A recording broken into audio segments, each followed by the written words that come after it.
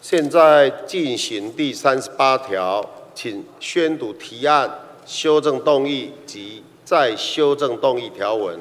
行政院提案第三十八条，劳工在同一雇主或事业单位继续工作满一定期间者，应依下列规定给予特别休假：一、六个月以上一年未满者三日；二、一年以上二年未满者七日；三、二年以上三年未满者十十日；四、三年以上五年未满者每年十四日；五、五年以上十年未满者每年十五日；六、十年以上者每一年加给一日，加至三十日为止。前项之特别休假期日由劳工排定之，但雇主基于企业经营上之急迫需求或劳工因个人因素得与他方协商调整，雇主应于劳工符合第一项所定之特别休假条件时，告知劳工依前二项规定排定特别休假。劳工之特别休假因年度终结或契约终止而未休之日数，雇主应发给工资；但年度终结未休之日数，经劳雇双方协商递延至次年度实施者，于次年度终结或契约终止仍未休之日数，雇主应发给工资，雇主应将劳工每年特别休假之七日及未休之日数所发给之工资数额，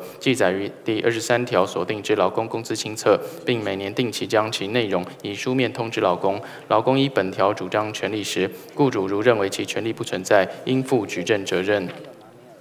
国民党党团提案第三十八条，劳工在同一雇主或事业单位继续工作满一定期间者，应依下列规定给予特别休假：一、六个月以上一年未满者三日；二、一年以上二年未满者七日；三、二年以上三年未满者十日；四、三年以上五年未满者每年十四日；五、五年以上十年未满者每年十五日；六、十年以上者每一年加给一日，加至三十日为止。前项之特别休假期日由劳工排定之，但雇主基于企业经营上之急迫需求或劳工因个人因素得与他方协商调整，雇主应于劳工符合第一项所定之特别休假条件时，告知劳工依前二项规定排定特别休假。劳工之特别休假因年度终结或契约终止而未休之日数，雇主应发给工资。劳工于年度终结时未能休毕之特别休假日数，得经劳工主动提出递延至次年行使，递延后之特别休假于次年度终结或劳动契约终止仍未休毕之日数，雇主应发给工资。雇主应将劳工每年特别休假之七日及未休之日数所发给之工资数额，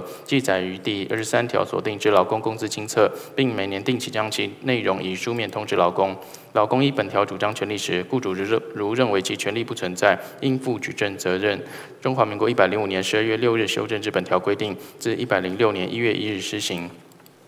委员林维洲等十六人提案第三十八条，劳工在同一雇主或事业单位继续工作满一定期间者，应依下列规定给予特别休假：一、六个月以上一年未满者六日；二、一年以上二年未满者十四日；三、二年以上三年未满者十七日；四、三年以上五年未满者每年二十一日；五、五年以上十年未满者每年二十二日；六、十年以上者每一年加给一日，加至三十七日为止。前项之特别休假期日由劳工排定之，但雇主基于企业经营上之急迫需求或劳工因个人因素，得与他方协商调整。雇主应于劳工符合第一项所定之特别休假条件时，告知劳工依前二项规定排定特别休假。劳工之特别休假因年度终结或契约终止而未休之日数，雇主应发给工资。但经劳雇双方协商将年度终结未休之日数递延至次年度实施者，于次年度终结或契约终止仍未休之日数，雇主应发给工资。雇主应将劳工每年特别休假之其日及未休之日数所发给之工资数额，记载于第二十三条所定之劳工工资清册，并每年定期将其内容以书面通知劳工。劳工依本条主张权利时，雇主如认为其权利不存在，应负举证责任。中华民国某年某月某日修正之本条规定，自某年某月某日施行。委员陈一鸣等十九人提案第三十八条，劳工在同一雇主或事业单位继续工作满一定期间者，应依下列规定给予特别休假：一、六个月以上一年未满者三日；二、一年以上二年未满者七日；三、二年以上三年未满者十日；四、三年以上五年未满者每年十四日；五、五年以上十年未满者每年十五日；六、十年以上者每一年加给一日，加至三十日为止。前项之特别休假其实由劳工排定之，但雇主基于企业经营上之急迫需求或劳工因个人因素，得与他方协商调整。雇主应与劳工符合第一项所定之特别休假条件时，告知劳工依前二项规定排定特别休假。劳工之特别休假因年度终结或契约终止而未休之日数，雇主应发给工资。特别休假尚未结清以前，雇主不得终止契约。雇主应将劳工每年特别休假之起日及未休之日数所发给之工资数额，记载于第二十三条所定之劳工工资清册，并每年定期将其内容以书面通知劳工。劳工依本条主张权利时，雇主如认为其权利不存在，应负举证责任。中华民国一百零五年十二月六日修正这本条规定，自一百零六年一月一日施行。委员黄昭顺等十六人所提。等十六人提案第三十八条，劳工在同一雇主或事业单位继续工作满一定期间者，应依下列规定给予特别休假：一、六个月以上一年未满者三日；二、一年以上二年未满者七日；三、二年以上三年未满者十日；四、三年以上五年未满者每年十四日；五、五年以上十年未满者每年十五日；六、十年以上者每一年加给一日，加至三十日为止。前项及第二十四条第三项转换之特别休假期日，由劳工排定之，但雇主基于企业经营上之急迫需求，或劳工因个人因素得与他方协商调整。雇主应与劳工符合第一项所定之特别休假条件时，告知劳工依前二项规定排定特别休假。劳工之特别休假因年度终结或契约终止而未休之日数，雇主应发给工资。劳工于年度终结时未能休毕之特别休假日数，得经劳工同意递延至次年行使。递延后之特别休假于年度终结前仍未休毕之日数，雇主应发给工资。雇主应将劳工每年特别休假之期日及未休之日数所发给之工资数额，记载于第二十三条所定之劳工工资清册，并每年定期将其内容以书面通知劳工。劳工依本条主张权利时，雇主如认为其权利不存在，应负举证责任。中华民国一百零五年十二月六日修正之本条规定，自一百零六年一月一日施行。委员李彦秋等十件提案第三十八条，劳工在同一雇主或事业单位继续工作满一定期间者，应依下列规定给予特别休假：一、六个月以上一年未满者三日；二、一年以上二年未满者七日；三、二年以上三年未满者十日；四、三年以上十年未满三年以上五年未满者每年十四日；五、五年以上十年未满者每年十五日；六、十年以上者每一年加给一日，加至二三十日为止。前项之特别休假其日由劳工排定之，但雇主基于企业经营上之急迫需求或劳工因个人因素得与他方协商调整。雇主应与劳工符合第一项所定之特别休假条件时，告知劳工依前二项规定排定特别休假。劳工之特别休假因年度终结或契约终止而未休之日数，雇主应发给工资，但劳工得于年度终结前一个月内以书面方式请求雇主递延当年度未用毕特别休假。次年度终结前仍未休之日数，应发给工资。雇主应将劳工每年特别休假之七日及未休之日数所发给职工之数额，记载于第二十三条所定之劳工工资清册，并每年定期将其内容以书面通知劳工。劳工依本条主张权利时，雇主如认为其权利不存在，应负举证责任。民进党党团修正动议第三十八条，劳工在同一雇主或事业单位继续工作满一定期间者，应依下列规定给予特别休假：一、六个月以上一年未满者三日；二、一年以上二年未满者七日；三、二年以上三年未满者十日；四、三年以上五年未满者每年十四日；五、五年以上十年未满者每年十五日；六、十年以上者每一年加给一日，加至三十日为止。前项之特别休假其日由劳工排定之，但雇主基于企业经营上之急迫需求或劳工因个人因素得与他方协商调整。雇主应与劳工符合第一项所定之特别休假条件时，告知劳工依前二项规定排定特别休假。劳工之特别休假因年度终结或契约终止而未休之日数，雇主应发给工资，但年度终结未休之日数，劳雇双方得协商递延至次年度实施。于次年度终结。或契约终止仍未休之日数，雇主应发给工资。雇主应将劳工每年特别休假之期日及未休之日数所发给之工资数额，记载于第二十三条所定之劳工工资清册，并每年定期将其内容以书面通知劳工。劳工依本条主张权利时，雇主如认为其权利不存在，应负举证责任。民进党党团在修正动议第三十八条，老公在同一雇主或事业单位继续工作满一定期间者，应依下列规定给予特别休假：一、六个月以上一年未满者三日；二一年以上二年未满者七日；三二年以上三年未满者十日；四三年以上五年未满者每年十四日；五五年以上十年未满者每年十五日；六十年以上者每一年加给一日，加至三十日为止。前项之特别休假期日由劳工排定之，但雇主基于企业经营上之急迫需求或劳工因个人因素得与他方协商调整。雇主应于劳工符合第一项所定之特别休假条件时，告知劳工依前二项规定排定特别休假。劳工之特别休假因年度终结或契约终止而未休之日数，雇主应发给工资。但年度终结未休之日数，经劳雇双方协商递延至次一年度实施者，于次一年度终结或契约终止仍未休之日数，雇主应发给工资。雇主应将劳工每年特别休假之期日及未休之日数所发给之工资数额，记载于第二十三条所定之劳工工资清册，并每年定期将其内容以书面通知劳工。劳工依本条主张权利时，雇主如认为其权利不存在，应负举证责任。亲民党党团修正动议第三十八条，劳工在同一雇主或事业单位接续工作满一定期间者，应依下列规定给予特别休假：一、六个月以上一年未满者三日；二、一年以上二年未满者七日；三、二年以上三年未满者十日；四、三年以上五年未满者每年十四日；五、五年以上十年未满者每年十五日；六、十年以上者每一年加给一日，加至三十日为止。前项之特别休假日、休假期日由劳工排定之，但雇主基于企业经营上之急迫需求或劳工因个人因素，得与他方协商调整。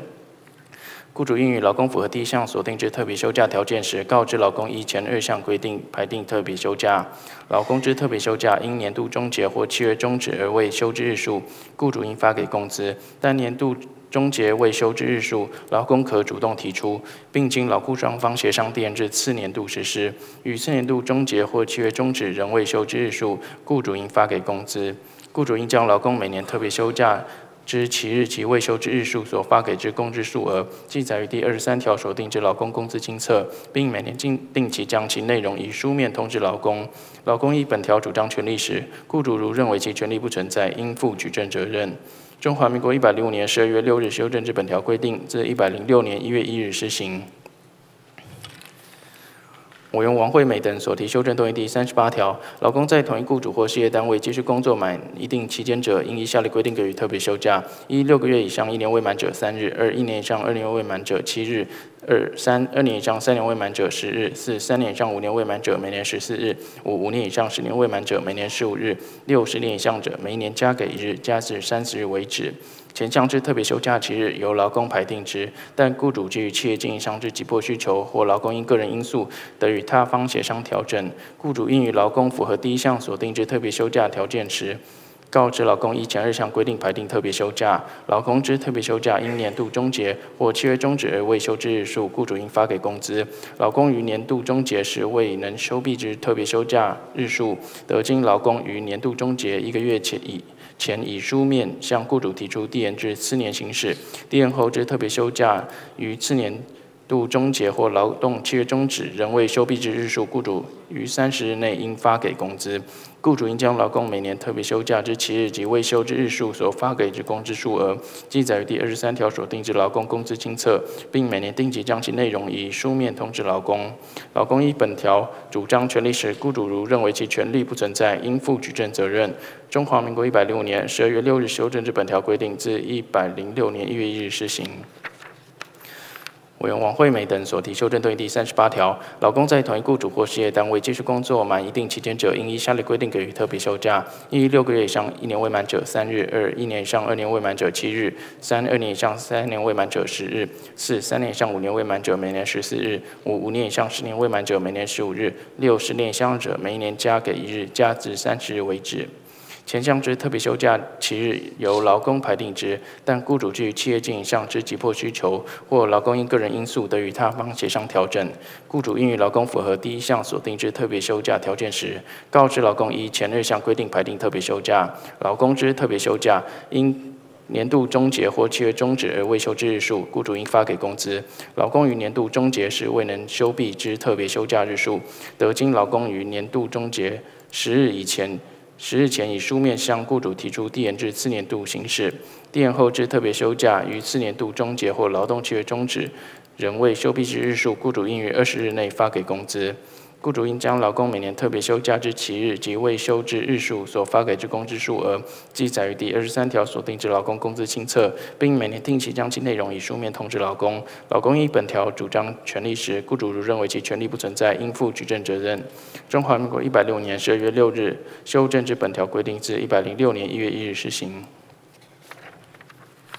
委员王惠美等所提修正动议第三十八条，劳工在同一雇主或事业单位继续工作满一定期间者，应依下列规定给予特别休假：一、六个月以上一年未满者三日；二、二年二一年以上二年未满者七日；三、二年以上三年未满者十日；四、三年以上五年未满者每年十四日；五、五年以上十年未满者每年十五日；六、十年以上者每一年加给一日，加至三十日为止。前项之特别休假期日由劳工排定之，但雇主基于企业经营上之急迫需求或劳工因个人因素得与他方协商调整。雇主应于劳工符合第一项所定之特别休假条件时，告知劳工依前二项规定排定特别休假。劳工之特别休假因年度终结或契约终止而未休之日数，雇主应发给工资。劳工于年度终结时未能休毕之特别休假日数，得经劳工以书面向雇主提出递延至次年行使。递延后之特别休假于次年度终结或劳动契约终止仍未休毕之日数，雇主应于十日内发给工资。雇主应将劳工每年特别休假之期日及未休之日数所发给之工资数额，记载于第二十三条所定之劳工工资清册，并每年定期将其内容以书面通知劳工。劳工依本条主张权利时，雇主如认为认为其权利不存在，应负举证责任。中华民国一百零五年十二月六日修正至本条规定，自一百零六年一月一日施行。委员廖国栋等所提修正动议第三十八条，老公在同一雇主或事业单位接受工作满一定期间者，应依下列规定给予特别休假：一、六个月以上一年未满者三日；二、一年以上二年未满者七日；三、二年以上三年未满者十日；四、三年以上五年未满者每年十四日；五、五年以上十年未满者每年十五日；六、十年以上者每一年加给日，加至三十日为止。前项之特别休假七日由劳工排定之，但雇主基于企业经营上之急迫需求或劳工因个人因素得与他方协商调整。雇主应与劳工符合第一项所定之特别休假条件时，告知劳工依前二项规定排定特别休假。劳工之特别休假因年度终结或契约终止而未休之日数，雇主应发给工资。劳工于年度终结时未能休毕之特别休假日数，得经劳工以书面向雇主提出递延至次年行事。递延后之特别休假于次年度终结或劳动契约终止仍未休毕之日数，雇主应发给工资。雇主应将劳工每年特别休假之期日及未休之日数所发给之工资数额，记载于第二十三条所定之劳工工资清册，并每年定期将其内容以书面通知劳工。劳工依本条主张权利时，雇主如认为其权利不存在，应负举证责任。中华民国一百六年十二月六日修正至本条规定，自一百零六年一月一日施行。委员吴志阳等所提在修正动议第三十八条，劳工在同一雇主或事业单位继续工作满一定期间者，应依下列规定给予特别休假：一、六个月以上一年未满者三日；二、一年以上二年未满者七日；三、二年以上三年未满者十日；四、三年以上五年未满者每年十四日；五、五年以上十年未满者每年十五日；六、十年以上者每一年加给一日，价值三十日为止。前项提及之特别休假期日由劳工排定之，但雇主基于企业经营上之急迫需求或劳工个人因素得与他方协商调整。雇主应于劳工符合第一项所定制特别休假条件时，告知劳工依前二项之规定排定特别休假。劳工之特别休假因年度终结或契约终止而未休之日数，雇主应发给工资。劳工于年度终结时未能休毕之特别休假日数，得经劳工主动提出递延至次年行使。递延后之特别休假于次年度终结或劳动契约终止仍未休毕之日数，雇主应发给工资。雇主应将劳工每年特别休假之期日及未休之日数所发给之工资数额，记载第二十三条所定之劳工工资清册，并每年定期将其内容以书面通知劳工。劳工依本条主张权利时，雇主如认为其权利不存在，应负举证责任。委员吴志阳等所提修正动议第三十八条，劳工在同一雇主或事业单位继续工作满一定期间者，应依下列规定给予特别休假：一、半年以上一年未满者七日；二、一年以上三年未满者十四日；三、三年以上五年未满者十七日；四、五年以上十年未满者二十一日；五、十年以上十五年未满者二十八日；六、十五年以上者每年三十日。前项之特别休假期日由劳工排定之，但雇主基于企业经营上之急迫需求或劳工因个人因素得与他方协商调整。雇主应于劳工符合第一项所定之特别休假条件时，告知劳工依前二项之规定排定特别休假。劳工之特别休假因年度终结或契约终止而未休之日数，雇主应发给工资。劳工于年度终结时未能休毕之特别休假日数，得经劳工主动提出递延至次年行使；递延后之特别休假于次年度终结或劳动契约终止仍未休毕之日数，雇主应发给工资。雇主应将劳工每年特别休假之期日及未休之日数所发给之工资数额，记载于第二十三条所定之劳工工资清册，并每年定期将其内容以书面通知劳工。劳工依本条。主张权利时，雇主如认为其权利不存在，应负举证责任。中华民国一百零五年十十二月六日修正之本条规定，自一百零六年一月一日施行。委员吴志阳等所提修正动议第三十八条，劳工在同一雇主或事业单位结束工作满一定期间者，应依下列规定给予特别休假：一、六个月以上一年未满者三日；二、一年以上二年未满者七日；三、二年以上三年未满者十日；四、三年以上五年未满者每年十四日；五、五年以上十年未满者每年十五日；六、十年以上者每年加给一日，加至三十为止。前项提及之特别休假期日由劳工排定之，但雇主基于企业经营上之急迫需求或劳工个人因素，得与他方协商。调整，雇主应于劳工符合第一项所定制特别休假条件时，告知劳工依前任项的规定排定特别休假。劳工之特别休假因年度终结或契约终止而未休之日数，雇主应发给工资。劳工于年度终结时未能休毕之特别休假日数，得经劳工主动提出递延至四年行使。递延后之特别休假于次年度终结或劳动契约终止仍未休毕之日数，雇主应发给工资。雇主应将劳工每年特别休假之期日及未休之日数所发给之工资数额，记载于第二十三条所定之劳工工资清册，并每年定期将其内容以书面通知劳工。劳工依本条主张权利时，应雇主如认为其权利不存在，应负举证责任。中华民国一百零五年十二月六日修正之本条规定，自一百零六年一月一日施行。委员王玉明等所提修正动议第三十八条，劳工在同一雇主或事业单位接受工作满一定期间者，应给予特别休假之规定如下：一、六个月以上一年未满者三日；二、一年以上二年未满者七日；三、二年以上三年未满者十日；四、三年以上五年未满者每年十四日；五、五年以上十年未满者每年十五日；六、十年以上者每年加给一日，加至三十日为止。前项之特别休假期日由劳工排定之，但雇主基于企业经营上之急迫需求或劳工因个人因素得与他方协商调整。雇主应于劳工符合第一项所定之特别休假条件时，告知劳工依前二项规定排定特别休假。劳工之特别休假因年度终结或契约终止而未休之日数，雇主应发给工资。雇主应将劳工每年特别休假之七日及未休之日数所发给之工资数额，记载第二十三条所定之劳工工资清册，并每年定期将其内容以书面通知劳工。劳工依本条主张权利时，雇主如认为其权利不存在，应负举证责任。中华民国某年某月某日修正之本条规定自某年某月某日施行。委员王玉明等所提修正动议第三十八条，老公在同一雇主或事业单位接受工作满一定期间者，应依下列规定给予特别休假：一、六个月以上一年未满者三日；二、一年以上二年未满者七日；三、二年以上三年未满者十日；四、三年以上五年未满者每年十四日。五五年以上十年未满者每年十五日，六十年以上者每年加给一日，加至三十为止。前项之特别休假期日由劳工排定之，但雇主基于企业经营上之急迫需求或劳工因个人因素得与他方协商调整。雇主应与劳工符合第一项所定之特别休假条件时，告知劳工依前二项规定排定特别休假。劳工之特别休假因年度终结或契约终止而未休之日数，雇主应发给工资。雇主应将劳工每年特别休假之期日及未休之日数所发给之工资数额，记载于第二十三条所定之劳工工资清册，并每年定期将其内容以书面通知劳工。劳工依本条主张权利时，雇主如认为其权利不存在，应负举证责任。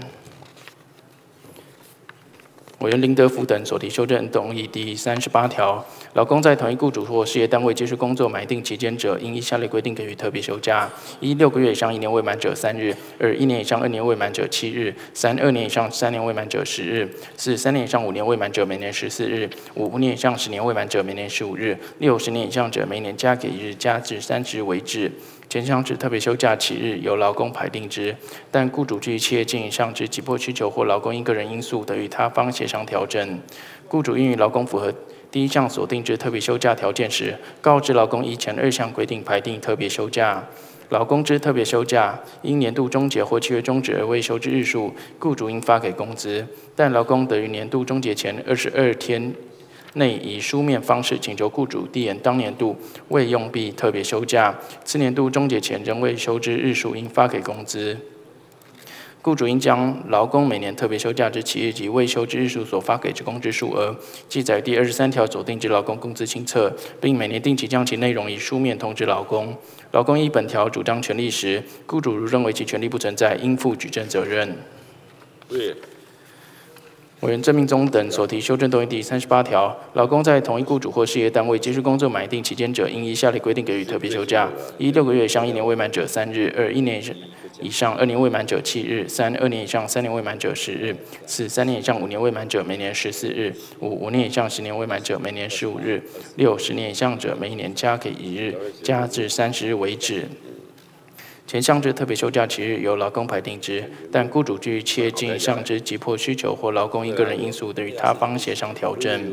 雇主应与劳工符合第一项所定之特别休假条件时，告知劳工依前二项规定排定特别休假。劳工之特别休假因年度终结或契约终止而未休之日数，雇主应发给工资。但年度终结未休之日数，经劳工选择递延至次年度实施者，于次年度终结或契约终止仍未休之日数，雇主应发给工资。雇主应将劳工每年特别休假之起日及未休之日数所发给之工资数额，记载于第二十三条所定之劳工工资清册，并每年定期将其内容以书面通知劳工。劳工依本条主张权利时，雇主如认为其权利不存在，应负举证责任。委员郑明忠等所提修正动议第三十八条，劳工在同一雇主或事业单位继续工作满一定期间者，应依下列规定给予特别休假：一、六个月以上一年未满者三日；二、一年以上二年未满者七日；三、二年以上三年未满者十日；四、三年以上五年未满者每年十四日；五、五年以上十年未满者每年十五日；六、十年以上者每年加给一日，加至三十日为止。前项之特别休假期日由劳工排定之，但雇主基于企业经营上之急迫需求或劳工因个人因素，得与他方协商调整。雇主应与劳工符合第一项所定之特别休假条件时，告知劳工依前二项规定排定特别休假。劳工之特别休假因年度终结或契约终止而未休之日数，雇主应发给工资。但年度终结未休之日数，经劳工请求垫至次年度实施者，于次年度终结或契约终止仍未休之日数，雇主应发给工资。雇主应将劳工每年特别休假之期日及未休之日数所发给之工资数额，记载于第二十三条所定之劳工工资清册，并每年定期将其内容以书面通知劳工。劳工依本条主张权利时，雇主如认为其权利不存在，应负举证责任。委员徐正伟等所提修正动议第三十八条，劳工在同一雇主或事业单位继续工作满一定期间者，应依下列规定给予特别休假：一、六个月以上一年未满者三日；二、一年以上二年未满者七日；三、二年以上三年未满者十日；四、三年以上五年未满者每年十四日；五、五年以上十年未满者每年十五日；六、十年以上者每年加给一日，加至三十日为止。前项之特别休假起日由劳工排定之，但雇主基于企业经营上之急迫需求或劳工因个人因素，得与他方协商调整。雇主应于劳工符合第一项所定之特别休假条件时，告知劳工依前二项规定排定特别休假。劳工之特别休假因年度终结或契约终止而未休之日数，雇主应发给工资。劳工于年度终结时未能休毕之特别休假日数，得经劳工主动提出递延至次年行事。递延后之特别休假于次年度度终结或劳动契约终止仍未休毕者，雇主应发给工资。雇主应将劳工每年特别休假之期日及未休之日数所发给之工资数额，记载于第二十三条所定之劳工工资清册，并每年定期将其内容以书面通知劳工。劳工依本条主张权利时，雇主认为其权利不存在，应负举证责任。中华民国一百零五年十二月六日修正至本条规定，自一百零六年一月一日施行。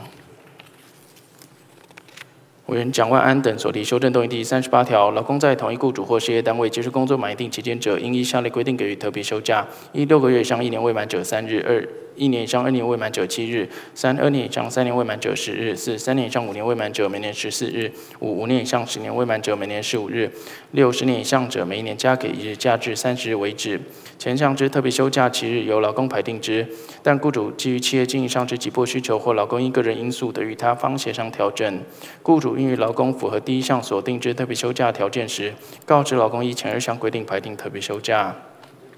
劳工之特别休假因年度终结或契约终止而未休之日数，雇主应发给工资。劳工于年度终结时未能休毕之特别休假日数，得经劳工以书面向雇主提出递延之次年行使。递延后之特别休假于次年度终结或劳动契约终止仍未休毕之日数，雇主应于七日内发给工资，不得再行递延特别休假。雇主应将劳工每年特别休假之期日及未休之日数所发给之工资数额，记载于第二十三条所定之劳工工资清册，并每年定期将其内容以书面通知劳工。劳工依本条主张权利时，雇主如认为其权利不存在，应负举证责任。中华民国一百零五年十二月六日修正之本条规定，自一百零六年一月一日施行。委员蒋万安等所提修正动议第三十八条，劳工在同一雇主或事业单位继续工作满一定期间者，应依下列规定给予特别休假：一、六个月以上一年未满者三日；二、一年以上二年未满者七日；三、二年以上三年未满者十日；四、三年以上五年未满者每年十四日；五、五年以上十年未满者每年十五日；六、十年以上者每年加给一日，加至三十日为止。前项之特别休假期日由劳工排定之，但雇主基于企业经营上之急迫需求，或劳工因个人因素得与他方协商调整。雇主应于劳工符合第一项所定之特别休假条件时，告知劳工依前二项规定排定特别休假。劳工之特别休假因年度终结或契约终止而未休之日数，雇主应发给工资。劳工于年度终结时未能休毕之特别休假日数，得经劳工于年度终结一个月前以书面向雇主提出递延之次年行使。递延后之特别休假于次年度终结或劳动契约终止仍未休毕之日数，雇主最迟应于七日内折算发给工资。不得再行递延特别休假，雇主应将劳工每年特别休假之起日及未休之日数所发给之工资数额，记载于第二十三条所定之劳工工资清册，并每年定期将其内容以书面通知劳工。劳工依本条主张权利时，雇主如认为其权利不存在，应负举证责任。中华民国一百零五年十二月六日修正之条文，自一百零六年一月一日施行。委员蒋万安等所提修正动议第三十八条，劳工在同一雇主或事业单位继续工作满一定期间者，应依下列规定给予特别休假：一、六个月以上一年未满者三日；二、一年以上二年未满者七日；三、二年以上三年未满者十日；四、三年以上五年未满者每年十四日；五、五年以上十年未满者每年十五日；六、十年以上者每一年加给一日，加至三十日为止。前项之特别休假期日由劳工排定之，但雇主基于企业经营上之急迫需求，或劳工因个人因素得与他方协商调整。雇主应与劳工符合第一项所定制特别休假条件时，告知老公依前二项规定排定特别休假。老公之特别休假因年度终结或契约终止而未休之日数，雇主应发给工资。老公于年度终结时未能休毕之特别休假日数，得经劳工于年度终结十日前以书面向雇主提出递延至次年行使。垫后之特别休假于次年度终结或劳动契约终止仍未休毕之日数，雇主应于二十日内折算发给工资，不得再行递延特别休假。雇主应将劳工每年特别休假之七日及未休之日数所发给之工资数额，记载于第二十三条所定之劳工工资清册，并每年定期将其内容以书面通知劳工。劳工依本条主张权利时，雇主如认为其权利不存在，应负举证责任。中华民国一百六年十二月六日修正之本条规定，自一百零六年一月一日施行。委员林立产等所提修正动议第三十八条，劳工在同一雇主或事业单位继续工作满一定期间者，应依下列规定给予特别休假：一、六个月以上一年未满者三日；二、一年以上二年未满者七日；三、二年以上三年未满者十日；四、三年以上五年未满者每年十四日；五、五年以上十年未满者每年十五日；六、十年以上者每年加给一日，加至三十日为止。前项之特别休假期日由劳工排定之，但雇主基于企业经营上之急迫需求或劳工因个人因素得向得与他方协商调整。雇主应于劳工符合第一项所定之特别休假条件时，告知劳工以前二项规定排定特别休假。劳工之特别休假于年度终结或契约终止前仍未休完之日数，雇主应发给工资。劳工于年度终结时未能休毕之特别休假日数，得经劳工主动提出递延至次年行使。递延后之特别休假于次年度终结或劳动契约终止仍未休毕之日数，雇主应发给工资。雇主应将劳工每年特别休假之七日及未休之日数所发给之工资数额，记载于第二十三条所定之劳工工资金册，并每年定期将其内容以书面通知劳工。劳工依本条主张权利时，雇主如认为其权利不存在，应负举证责任。中华民国一百零五年十二月六日修正至本条规定，自一百零六年一月一日施行。委员林立产等所提修正动议第三十八条，劳工在同一雇主或事业单位继续工作满一定期间者，应依下列规定给予特别休假：一、六个月以上一年未满者三日；二、一年以上二年未满者七日；三、二年以上三年未满者十日；四、三年以上五年未满者每年十四日；五、五年以上十年未满者每年十五日；六、十年以上者每年加给一日，加至三十日为止。前项之特别休假其日由劳工排定之，但雇主基于企业经营上之急迫需求或劳工因个人因素，得与他方协商调整。雇主应于劳工符合第一项所定之特别休假条件时，告知劳工依前二项规定排定特别休假。劳工之特别休假因年度终结或契约终止而未休之日数，雇主应发给工资。劳工于年度终结时未能休毕之特别休假日数，得因劳工主动提出而递延至次年行使。但递延后之特别休假于次年度终结或劳动契约终止前仍未休毕之日数，雇主应发给工资。雇主应将劳工每年特别休假之起日及未休之日数所发给之工资数额，记载第二十三条所定之劳工工资清册，并每年定期将其内容以书面通知劳工。劳工依本条主张权利时，雇主如认为其权利不存在，雇主应负举证责任。中华民国一百六年十二月六日修正至本条规定，自一百零六年一月一日施行。文张立善等所提修正动议第三十八条，劳工在同一雇主或事业单位继续工作满一定期间者，应依下列规定给予特别休假：一、六个月以上一年未满者三日；二、一年以上二年未满者七日；三、二年以上三年未满者十日；四、三年以上五年未满者每年十四日；五、五年以上十年未满者每年十五日；六、十年以上者每一年加给一日，加至三十日为止。前项之特别休假期日由劳工排定之，但雇主基于企业经营上之急迫需求或劳工因个人因素，得与他方协商调整。雇主应于劳工符合第一项所定之特别休假条件时，告知劳工依前二项规定排定特别休假。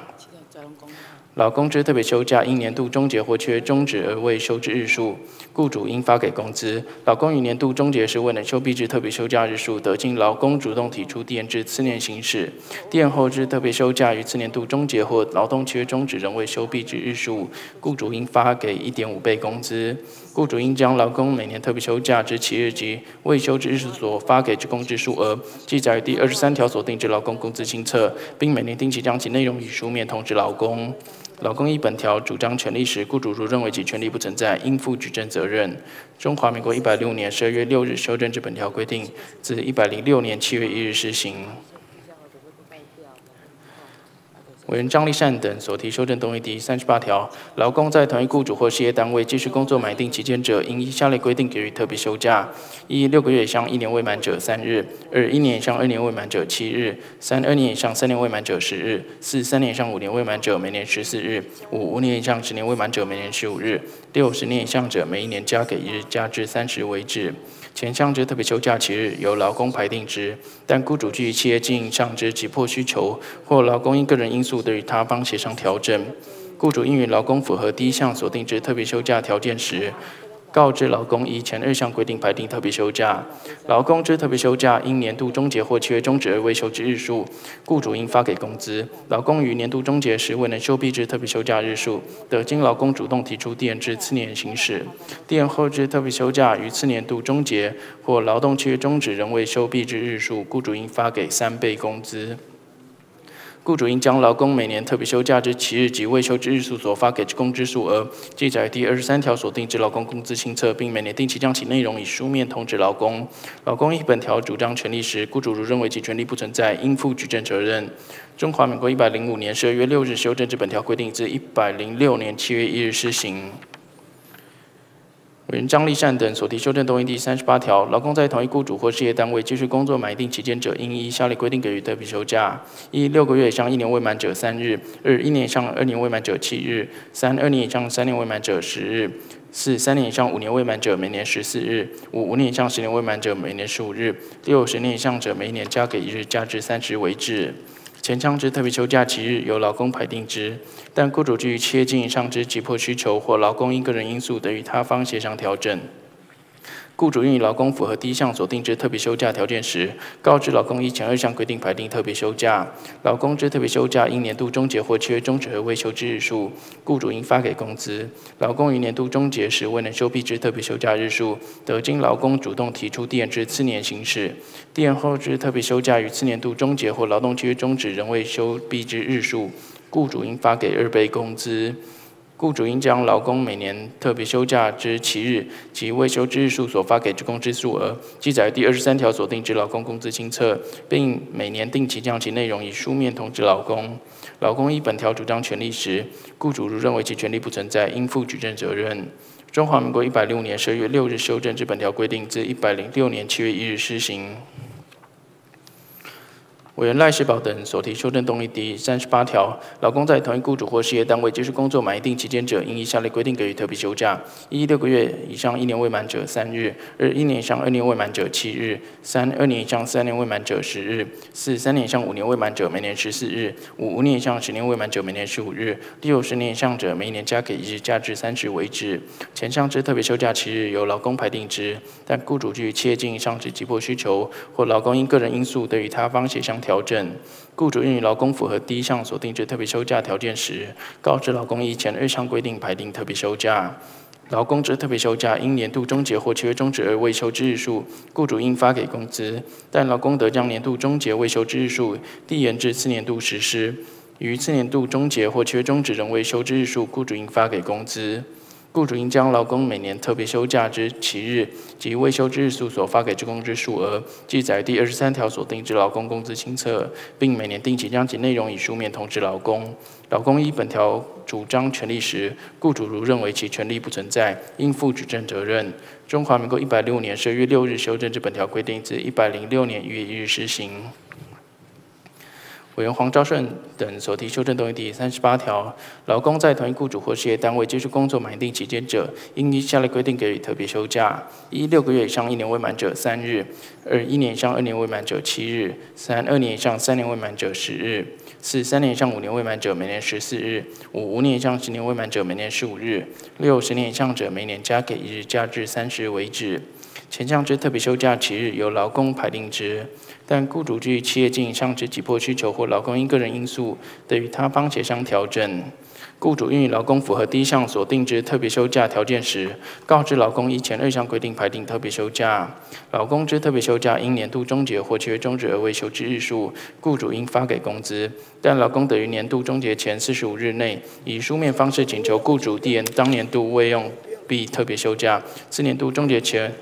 仍未休之日数应发给工资，雇主应将劳工每年特别休假之期日及未休之日数所发给之工资数额记载于第二十三条所定之工劳工工资清册，并每年定期将其内容以书面通知劳工。劳工依本条主张权利时，雇主如认为其权利不存在，应负举证责任。委员黄昭胜等所提修正动议第三十八条，劳工在同一雇主或事业单位继续工作满一定期间者，应依下列规定给予特别休假：一、六个月以上一年未满者三日；二、一年以上二年未满者七日；三、二年以上三年未满者十日；四、三年以上五年未满者每年十四日；五、五年以上十年未满者每年十五日；六、十年以上者每一年加给一日，加至三十日为止。前项之特别休假期日由劳工排定之，但雇主基于企业经营上之急迫需求或劳工因个人因素，得与他方协商调整。雇主应于劳工符合第一项所定之特别休假条件时，告知劳工依前二项规定排定特别休假。劳工之特别休假因年度终结或缺终止而未休之日数，雇主应发给工资。但劳工得于年度终结前二个月内以书面方式请求雇主垫当年度未用毕。特别休假，次年度终结前仍未休之日数，应发给工资。雇主应将劳工每年特别休假之期日及未休之日数所发给之工资数额，记载于第二十三条所定之劳工工资清册，并每年定期将其内容以书面通知劳工。劳工依本条主张权利时，雇主如认为其权利不存在，应负举证责任。委员黄昭顺等所提修正动议第三十八条，劳工在同一雇主或事业单位继续工作满一定期间者，应依下列规定给予特别休假：一、六个月以上一年未满者六日；二、一年以上二年未满者九日；三、二年以上三年未满者十二日；四、三年以上五年未满者每年十五日；五、五年以上十年未满者每年二十一日；六、十年以上者每年加给二日，加至三十日为止。前项之特别休假期日由劳工排定之，但雇主基于企业经营上之急迫需求，或劳工因个人因素得与他方协商调整。雇主应于劳工符合第一项所定之特别休假条件时，告知劳工以前二项规定排定特别休假。劳工之特别休假因年度终结或契约终止而未休之日数，雇主应发给原工资之二倍工资。雇主应将劳工每年特别休假之期日及未休之日数所发给之工资数额，记载于第二十三条所定之劳工工资新册，并每年定期将其内容以书面通知劳工。劳工依本条主张权利时，雇主如认为其权利不存在，应负举证责任。中华民国一百零五年十二月六日修正至本条规定，自一百零六年一月一日施行。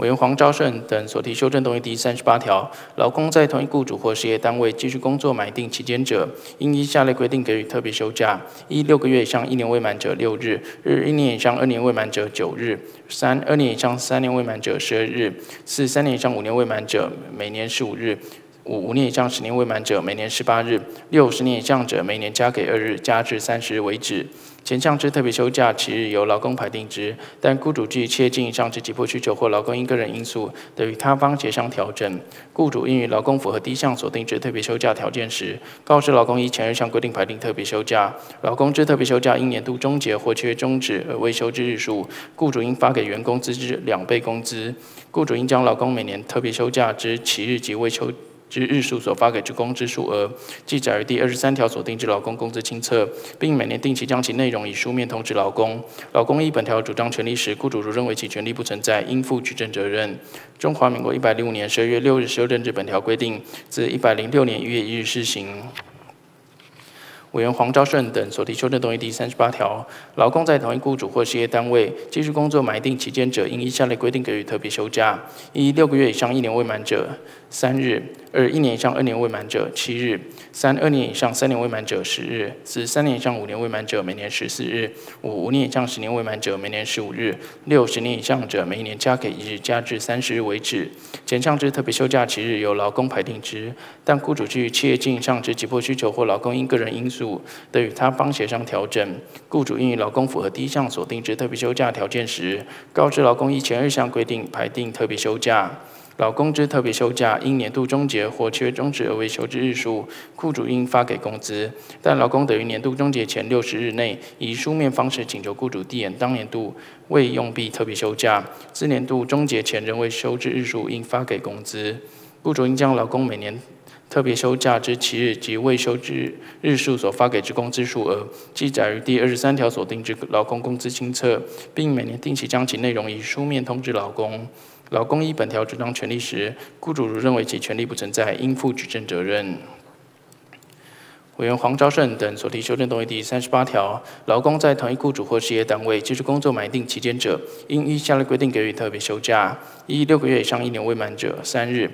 二一年以上二年未满者七日；三二年以上三年未满者十二日；三三年以上五年未满者十五日，每年十五日；五五年以上十年未满者，每年十八日；六十年以上者，每一年加给二日，加至三十日为止。前上之特别休假期日由劳工排定之，但雇主基于企业经营上之急迫需求，或劳工因个人因素得与他方协商调整。雇主应于劳工符合第一项所定之特别休假条件时，告知劳工依前二项规定排定特别休假。劳工之特别休假因年度终结或契约终止而未休之日数，雇主应发给原工资之两倍工资。雇主应将劳工每年特别休假之起日及未休假未休之日数所发给之工资数额，记载于第二十三条所定之劳工工资新册，并每年定期将其内容以书面通知劳工。劳工依本条主张权利时，雇主如认为其权利不存在，应负举证责任。中华民国一百零五年十二月六日修正至本条规定，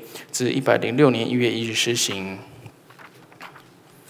委员黄昭顺等所提修正动议第三十八条，劳工在同一雇主或事业单位接续工作满一定期间者，应依下列规定给予特别休假：一、六个月以上一年未满者三日；二、一年以上二年未满者七日；三、二年以上三年未满者十二日。四三年以上五年未满者，每年十五日；五五年以上十年未满者，每年十八日；六十年以上者，每年加给二日，加至三十日为止。前项之特别休假期日由劳工排定之，但雇主基于企业经营上之急迫需求，或劳工因个人因素得与他方协商调整。雇主应于劳工符合第一项所定之特别休假条件时，告知劳工依前二项规定排定特别休假。劳工之特别休假因年度终结或契约终止而未休之日数，雇主应发给工资。劳工于年度终结时未能休毕之特别休假日数，得经劳工主动提出递延至次年行使。递延后之特别休假于次年度终结或劳动契约终止仍未休毕之日数，雇主应发给员工资已有二分之一倍工资。雇主应将劳工每年特别休假之七日及未休之日数所发给之工资数额，记载于第二十三条所定之劳工工资清册，并每年定期将其内容以书面通知劳工。劳工依本条主张权利时，雇主如认为其权利不存在，应负举证责任。中华民国一百零五年十二月六日修正之本条规定，自一百零六年一月一日施行。委员黄昭顺等所提修正动议第三十八条，劳工在同一雇主或事业单位结束工作满一定期间者，应依下列规定给予特别休假：一、六个月以上一年未满者三日；二、一年以上二年未满者三八日；三、二年以上三年未满者十二日；四、三年以上五年未满者每年十四日；五、五年以上十年未满者每年十五日；六、十年以上者每一年加给一日，加至三十日为止。前项之特别休假期日由劳工排定之，但雇主基于企业经营上之急迫需求或劳工因个人因素得与他方协商调整。雇主应于劳工符合第一项所定之特别休假条件时，告知劳工依前日项规定排定特别休假。劳工之特别休假因年度终结或契约终止而未休之日数，雇主应发给工资。劳工于年度终结时未能休毕之特别休假日数，得经劳工主动提出递延至次年行使。垫后之特别休假于次年度终结或劳动契约终止仍未休毕之日数，雇主应发给工资。雇主应将劳工每年特别休假之起日及未休。之日数所发给之工资数额，记载于第二十三条所定之劳工工资清册，并每年定期将其内容以书面通知劳工。劳工依本条主张权利时，雇主如认为其权利不存在，应负举证责任。中华民国一百零五年十二月六日修正之本条规定，自一百零六年一月一日施行。委员黄昭顺等所提修正动议第三十八条，劳工在同一雇主或事业单位继续工作满一定期间者，应依下列规定给予特别休假：一、六个月以上一年未满者三日；二、一年以上二年未满者七日；三、二年以上三年未满者十二日；四、三年以上五年未满者每年十四日；五、五年以上十年未满者每年十五日；六、十年以上者每一年加给一日，加至三十日为止。前项之特别休假期日由劳工排定之，但雇主基于企业经营上之急迫需求或劳工因个人因素得与他方协商调整。雇主应于劳工符合第一项所定之特别休假条件时，告知劳工依前二项规定排定特别休假。劳工之特别休假因年度终结或契约终止而未休之日数，雇主应发给工资。劳工于年度终结时未能休毕之特别休假。特别休假日数，得经劳工主动提出递延至次年行使。递延后之特别休假于次年度终结或劳动契约终止，仍未休毕之日数，雇主应发给工资。雇主应将劳工每年特别休假之期日及未休之日数所发给之工资数额，记载于第二十三条所定之劳工工资清册，并每年定期将其内容以书面通知劳工。劳工依本条主张权利时，雇主如认为其权利不存在，应负举证责任。中华民国一百零五年十二月六日修正至本条规定，自一百零六年一月一日施行。委员黄昭顺等所提修正动议第三十八条，劳工在同一雇主或事业单位继续工作满定期间者，应依下列规定给予特别休假：一、六个月以上一年未满者三日；二、一年以上二年未满者八日；三、二年以上三年未满者十日；四、三年以上五年未满者每年十四日；五、五年以上十年未满者每年十五日；六、十年以上者每年加给一日，加至三十日为止。前项之特别休假期日由劳工排定之，但雇主据切经营上之急迫需求，或劳工因个人因素得与他方协商调整。雇主应于劳工符合第一项所定之特别休假条件时，告知劳工依前日项规定排定特别休假。劳工之特别休假因年度终结或契约终止而未休之日数，雇主应发给工资。劳工于年度终结时未能休毕之特别休假日数，得经劳工主动提出递延至次年行使。递延后之特别休假于次年度终结或劳动契约终止仍未休毕之日数，雇主应发给工资。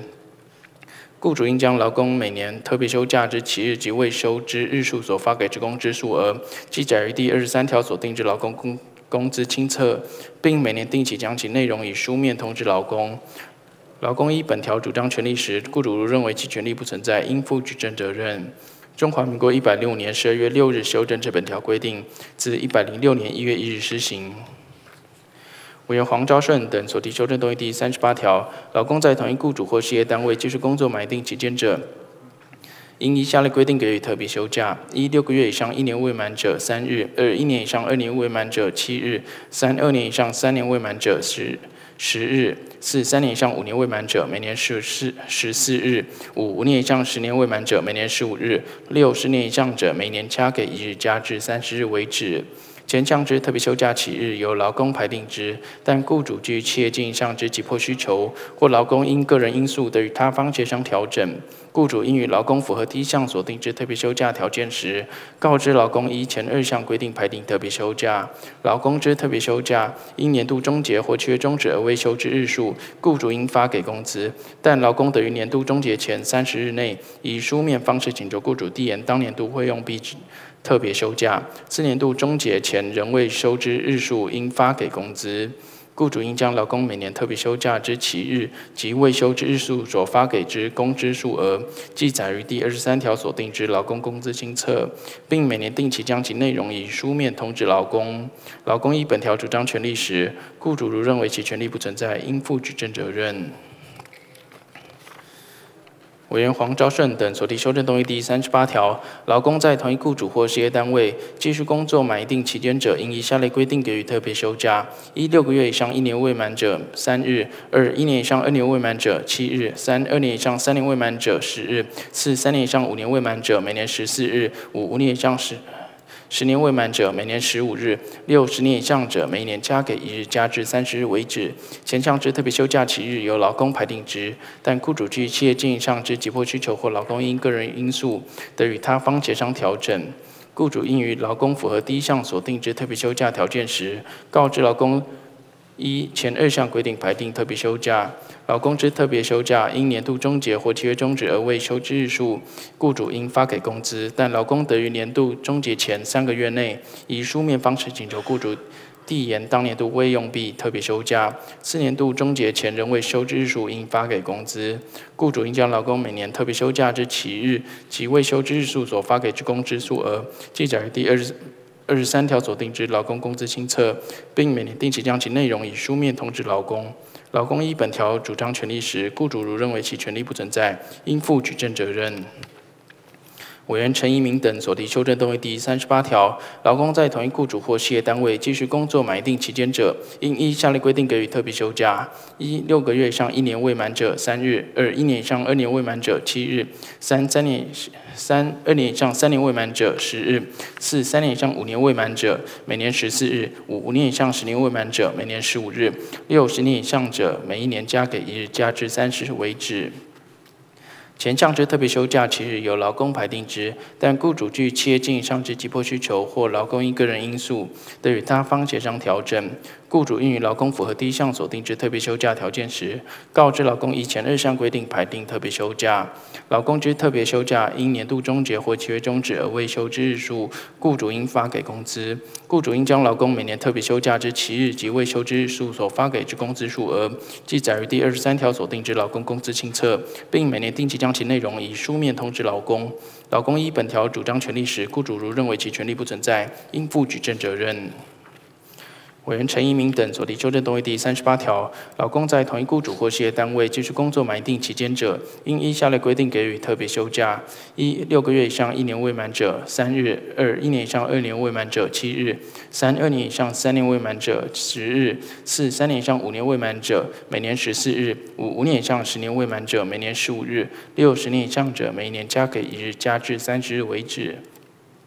前项之特别休假期日由劳工排定之，但雇主基于企业经营上之急迫需求或劳工因个人因素，得与他方协商调整。雇主应与劳工符合第一项所定之特别休假条件时，告知劳工依前二项规定排定特别休假。劳工之特别休假因年度终结或契约终止而未休之日数，雇主应加倍发给工资。雇主应将劳工每年特别休假之期日及未休之日数所发给之工资数额，记载于第二十三条所定之劳工工资新册，并每年定期将其内容以书面通知劳工。劳工依本条主张权利时，雇主如认为其权利不存在，应负举证责任。中华民国一百零五年十二月六日修正之本条规定，自一百零六年一月一日施行。委员陈一鸣等所提修正动议第三十八条，劳工在同一雇主或事业单位继续工作满一定期间者，应依下列规定给予特别休假：一、六个月以上一年未满者四日；二、一年以上二年未满者七日；三、二年以上三年未满者十日；四、三年以上五年未满者每年十四日；五、五年以上十年未满者每年十五日；六、十年以上者每年加给一日，加至三十日为止。前项之特别休假期日由劳工排定之，但雇主基于企业经营上之急迫需求或劳工因个人因素，得与他方协商调整。雇主应与劳工符合第一项所定之特别休假条件时，告知劳工依前二项规定排定特别休假。劳工之特别休假因年度终结或缺终止而未休之日数，雇主应加倍发给工资。雇主应将劳工每年特别休假之期日及未休之日数所发给之工资数额，记载于第二十三条所定之劳工工资清册，并每年定期将其内容以书面通知劳工。劳工依本条主张权利时，雇主如认为其权利不存在，应负举证责任。委员陈一鸣等所提修的动议第三十八条，劳工在同一雇主或企业单位继续工作满一定期间者，应依下列规定给予特别休假：一、六个月以上一年未满者四日；二、一年以上二年未满者七日；三、二年以上三年未满者十日；四、三年以上五年未满者每年十四日；五、五年以上十年未满者每年十五日；六、十年以上者每一年加给一日，加至三十日为止。前项之特别休假期日由劳工排定之，但雇主据企业经营上之急迫需求或劳工因个人因素，得与他方协商调整。雇主应与劳工符合第一项所定之特别休假条件时，告知劳工依前二项规定排定特别休假。劳工之特别休假因年度终结或契约终止而未休之日数，雇主应发给工资。雇主应将劳工每年特别休假之期日及未休之日数所发给之工资数额，记载于第二十三条所定之劳工工资清册，并每年定期将其内容以书面通知劳工。劳工依本条主张权利时，雇主如认为其权利不存在，应负举证责任。中华民国一百零五年十二月六日修正至本条规定，自一百零六年一月一日施行。委员林德福等所提再修正动议第三十八条，劳工在同一雇主或事业单位继续工作满一定期间者，应依下列规定给予特别休假：一、六个月以上一年未满者三日；二、一年以上二年未满者七日；三、二年以上三年未满者十日；四、三年以上五年未满者每年十四日；五、五年以上十年未满者每年十五日；六、十年以上者每年加给一日，加至三十日为止。前项之特别休假期日由劳工排定之，但雇主基于企业经营上之急迫需求或劳工因个人因素，得与他方协商调整。雇主应于劳工符合第一项所定之特别休假条件时，告知劳工依前二项规定排定特别休假。劳工之特别休假因年度终结或契约终止而未休之日数，雇主应发给工资。但劳工等于年度终结前二十八天内，以书面方式请求雇主递延当年度未用毕特别休假，次年度终结前仍未休之日数，应发给工资。雇主应将劳工每年特别休假之起日及未休之日数所发给职工之数额，记载于第二十三条所定之劳工工资清册，并每年定期将其内容以书面通知劳工。劳工依本条主张权利时，雇主如认为其权利不存在，应负举证责任。委员曾明忠等所提再修正动议第三十八条，劳工在同一雇主或事业单位结束工作满一定期间者，应依下列规定给予特别休假：一、六个月以上一年未满者三日；二、一年以上二年未满者七日；三、二年以上三年未满者十日；四、三年以上五年未满者每年十四日；五、五年以上十年未满者每年十五日；六、十年以上者每年加给一日，加至三十日为止。前项之特别休假期日由劳工排定之，但雇主具企业经营上之急迫需求或劳工因个人因素得与他方协商调整。雇主应与劳工符合第一项所定之特别休假条件时，告知劳工依前二项规定排定特别休假。劳工之特别休假因年度终结或缺终止而未休之日数，雇主应发给工资。但劳工请求递延至次年度实施者不在此限。前项劳工之特别休假于次年度终结或缺终止时，仍有未休日数，雇主应发给工资。雇主应将劳工每年特别休假之期日及未休之日数所发给职工之数额，记载于第二十三条所定之劳工工资清册，并每年定期将其内容以书面通知劳工。劳工依本条主张权利时，雇主如认为其权利不存在，应负举证责任。委员郑明忠等所提修正动议第三十八条。劳工在同一雇主或事业单位接受工作满定期间者，应依下列规定给予特别休假：一、六个月以上一年未满者三日；二、一年以上二年未满者七日；三、二年以上三年未满者十日；三、四、十三年以上五年未满者每年十四日；五、五年以上十年未满者每年十五日；六、十年以上者每一年加给一日，加至三十日为止。前项之特别休假期日由劳工排定之，但雇主基于企业经营上之急迫需求或劳工因个人因素，得与他方协商调整。雇主应与劳工符合第一项所定之特别休假条件时，告知劳工依前二项规定排定特别休假。劳工之特别休假因年度终结或契约终止而未休之日数，雇主应发给工资，但劳工请求递延至次年度实施者不在此限。前项劳工之特别休假于次年度终结或契约终止时，仍有未休日数，雇主应发给工资。雇主应将劳工每年特别休假之起日及未休之日数所发给之工资数额，记载于第二十三条所定之劳工工资清册，并每年定期将其内容以书面通知劳工。劳工依本条主张权利时，雇主如认为其权利不存在，应负举证责任。劳工依本条主张权利时，如认为雇主需提供相关资料，得请求雇主提供之。宣读完毕。好，啊，第三十八条已宣读完毕，我们进行委员自发言。首先，我们请何委员新存。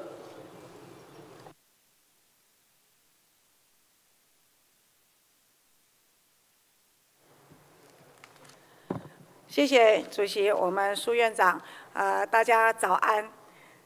那今天我想我们从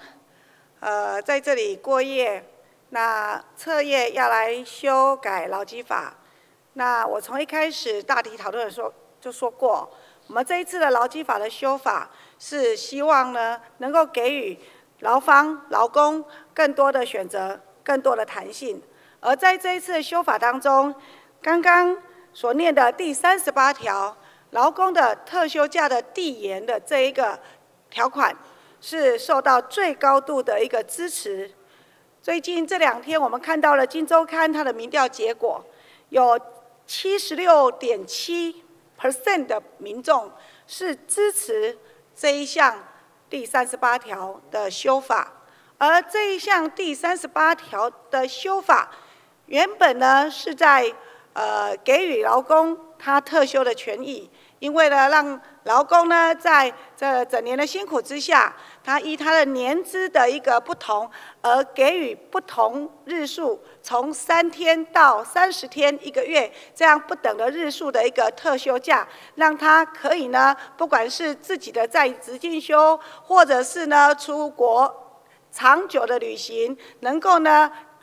增长视野、增广见闻，能够在。调整他的最佳的身心状况，回到职场上再付出、再努力、再工作。所以这一项属于劳工的特休，很多人希望能够可以累假。过去呢，我们以现行的条文，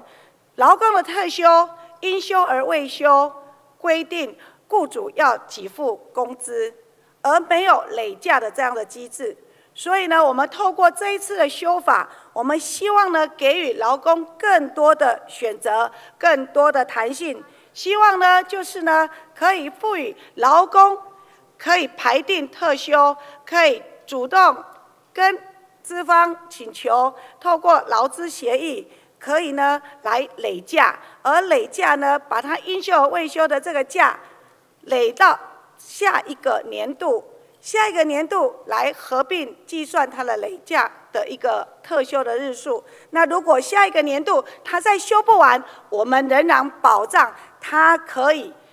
要求雇主来给付这个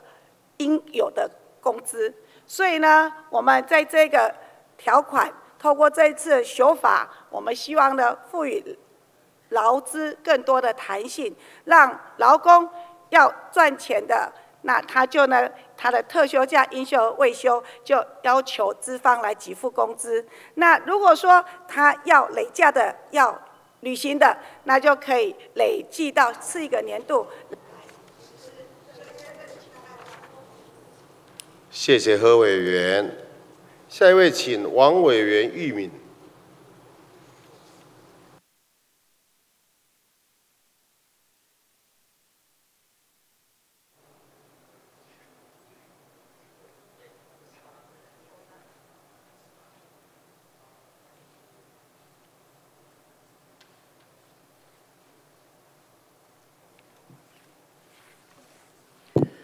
主席、各位同仁，大家早。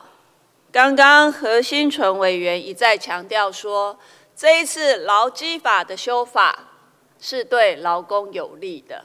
是可以劳资双赢的。但是很抱歉，我们一路上今天的修法可以看得出来，多数的法条都是往资方倾斜的。请问七休一，谁要把它松绑？是劳工吗？当然不是，这个是资方想要去松绑的。不信的话，民进党待会法案通过之后再做一个民调，看劳工朋友支不支持你的松绑七休一，要把轮班的间隔十一改八。我建议民进党待会。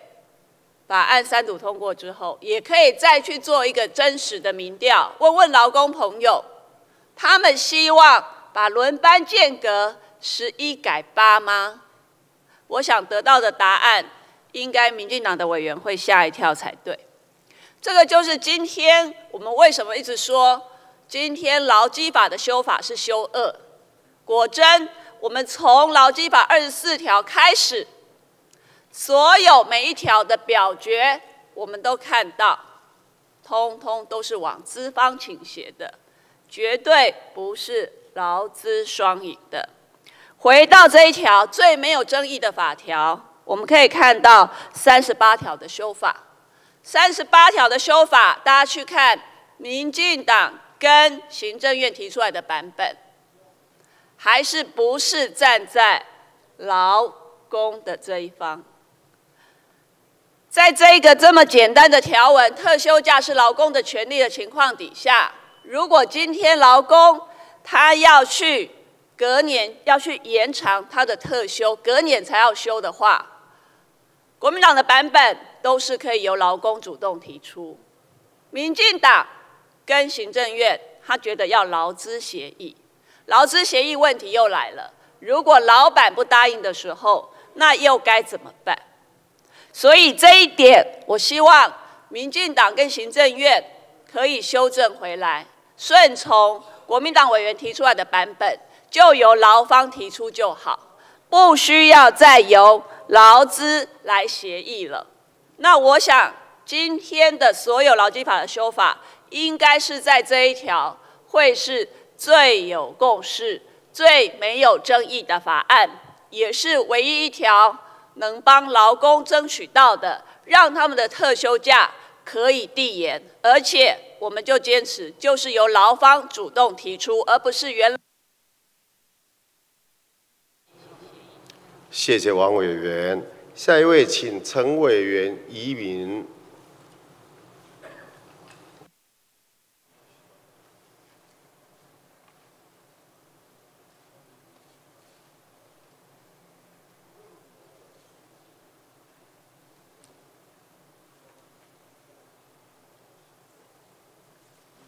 好，呃，主席、各位委员，大家早。呃，蔡英文总统于就职演说的时候强调，改变年轻人的处境，就是改变国家的处境。我们年轻人处于低薪，他们人生动弹不得，对未来感觉无奈又茫然。年轻人没未来，国家没，呃，必定没未来。但以目前我们看到的，今天已经通过的。所有的这些劳动基准法的表啊的一些重点，不论是七休一松绑、加班费何时计算，亦或调整每月加班总工时上限及轮班间隔的这个时数，比对休休二日修法的严格，将让我国劳动基准法保障劳工并且降低工时的初衷相违背，倒退三十年。执政党说。特休假可以递延一年，是给劳工更多的弹性，但是却没有修订《劳动基准法》第四十跟第四十一条。在这两条中，很清楚的写着：因为天灾、事变或突发事件，雇主认为有继续工作之必要时，得停止第三十六条至第三十八条所定劳工之下假期。那请问，什么是突变？呃，突发事件？突发事件发生，劳工递延一年的特休假就不见了。如果劳工被解雇，其实一样，这个特休假也一样不见了。因此，本席的提案其实新增了一个弹书，就是预防这样子情况的发生，也就是所谓的预防恶老板。特别休假尚未结清以前，雇主不得终止契约。哦，希望大家能够仔细的来考虑，让让我们的劳工。他们在递延之后，休假没有完成之前，能够啊，还是给他们好有有休假，而不会因为恶老板故意解雇他们，而让他们看不到也吃不到。好，以上谢谢。谢谢陈委员，下一位请林委员为州。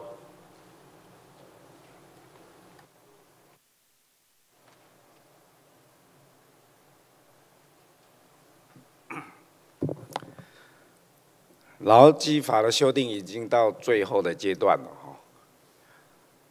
我们看到今天我们修法的内容里面哦，包括轮班间隔十一小时改成八小时，让劳工休息的时间变短；包括七休一松绑，让劳工连续上班的时间可以变长；包括加班时数。上调，让劳工在资方需求的时候增加他的加班上限。请问这三点哪一点是为劳方的？那劳方配合了资方，这三点都是为了让资方方便，在旺季的时候，在节庆的时候，在周年庆的时候。让他们可以更弹性的运用劳工的劳动力，那么资方拿到了这些方便，有多给予劳方任何工资上或是假期上的给予吗？没有，零。所以当然是配合资方啊。好，整个今天修法的内容只有两点是稍稍为劳工着想，包括三十二条之一，把加班可以换成补休，包括这一条三十八条，特休假一年没有办法休完，可以让劳工有机会可以递延到下一年度累积特休。只有这两点，我请问各位，这两点我们给的这么小气啊？加班换补休，那个也是靠劳方去加班才得得到。我们国民党的版本说，那是应该总应该用他加班的时候所多余付出的劳力，赚取的比较多一点的加班费。按照费率换补休，民进党不肯。特休假递延到隔年，我们也是提出让劳工不用经过经过所谓我们一直在听到的劳资协议，是由劳工可以单方决定，我要补休，我要递延，或是不递延，或是要结清。民进党的版本还是要经过。劳资双方的协议，我们要给劳工的实在很小气，我们要给资方的实在很大方。前几天前不久，小英总统为了这个劳基法的修订，闹得沸沸扬扬，他在召集了民进党中央党部的一些明星秘书跟他们。谈谈天，他讲了一句话，他说：“其实他从年轻是很左派，心里面其实是很左派。今天这个劳基法通过，这样倾向资方的劳基法通过，这样给予资方这么多弹性的劳资劳基法通过。”小英总统，民进党的政府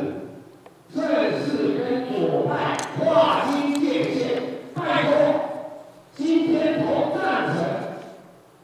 支持让资方这么多弹性的所有的委员，拜托你们，你们一辈子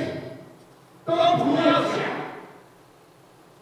你们跟左派有任何关系，谢谢。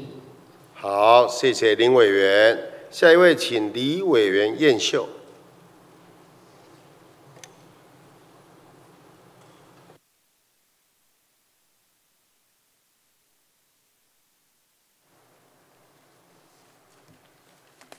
院长、各位与会的同仁，整个劳基法的修正案走到现在，几乎已经走完所有关键性的条文。在第三十八条当中，其实就是特休假的递延的部分。这个条文是去年柯总召在社服未还委员会坚持特休假不能递延，因为我们要让劳工有足够的有机会拿到加班费。实施一年之后，我们发现给劳工的弹性不足。其实特休假的部分是为了让劳工可以依据自己的身心状况来决定休假的日期。所以如果无法递延，只会让劳工在身心状况上佳的时候放假。那对于劳工来说，就没有达到放特休假的目的。也因此，我们认为这个条文，呃，应该要增加递延的部分。另外，我在加我在自己的修正条文当中，我也加注了，如果要要做递延的话，也应该以劳工来做主动发球权，也就是让劳工来书面提出递延这个部分。我觉得这整个条文如果以这样的修正方向，对于劳工未来自主的去支配他的特休假是有利的。另外，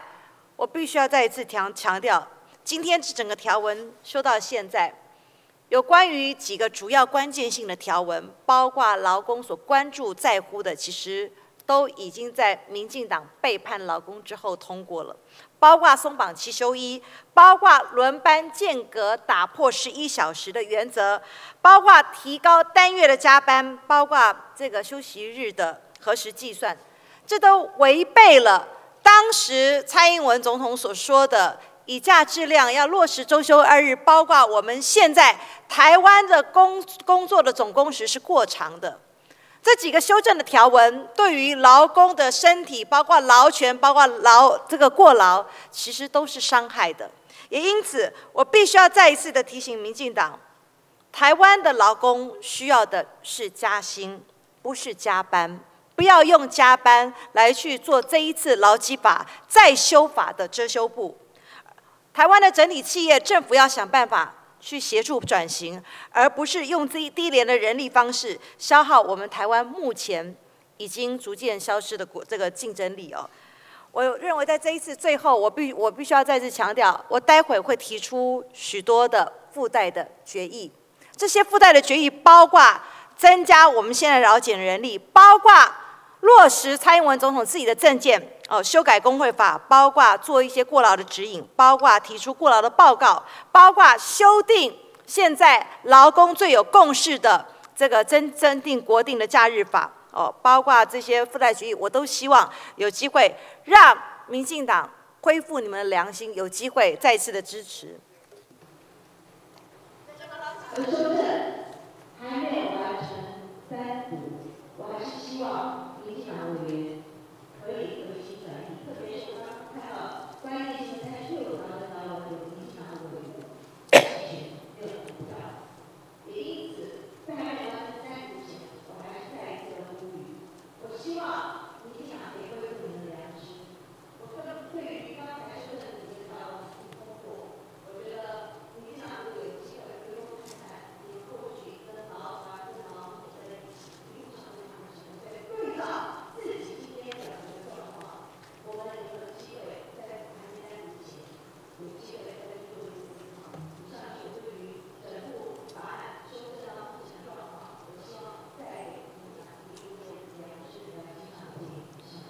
谢谢李委员。下一位，请蒋委员万安。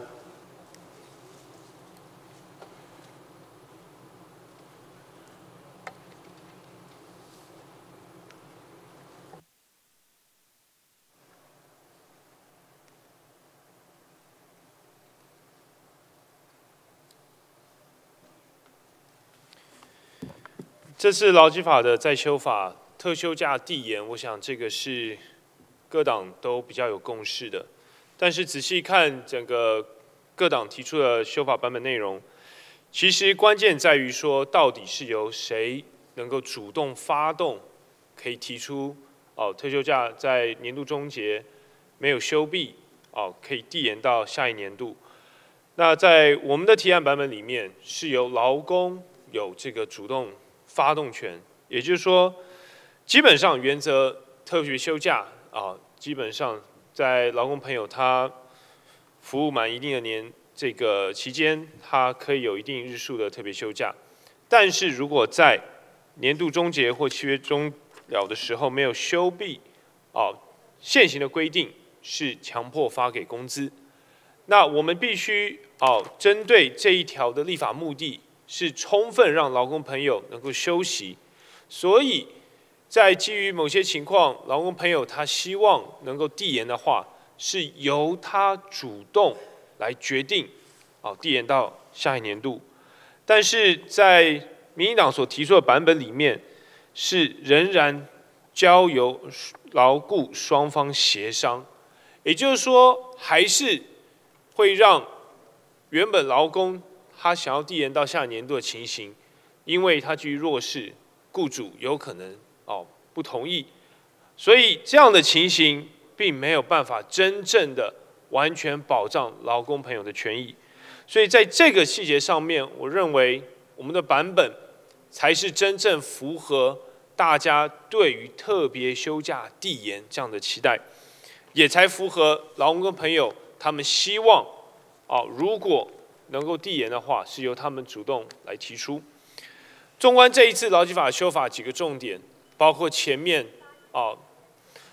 单月加班时数上限的增加，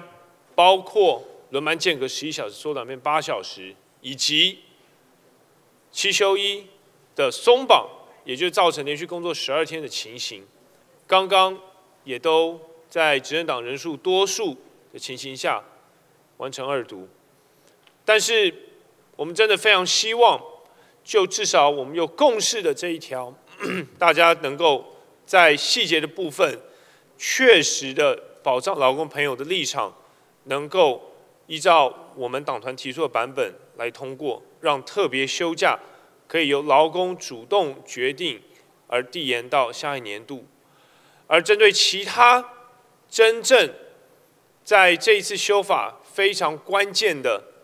几个条文，尤其是轮班间隔，还有七休一的松绑，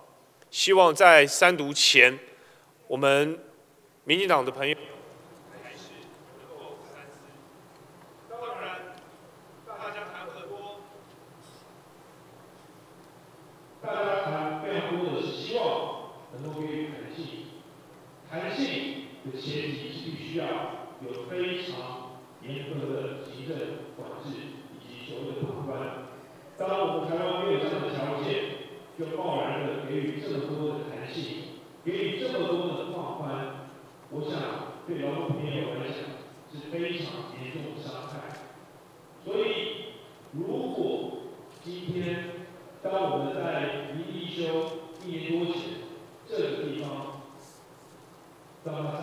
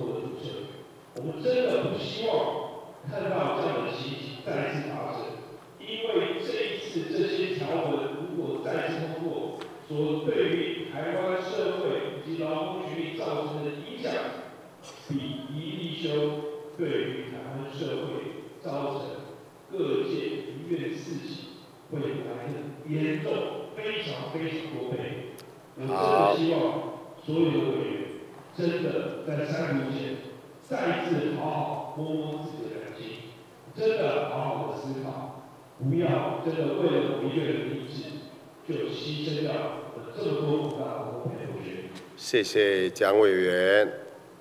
下一位，请徐委员玉人。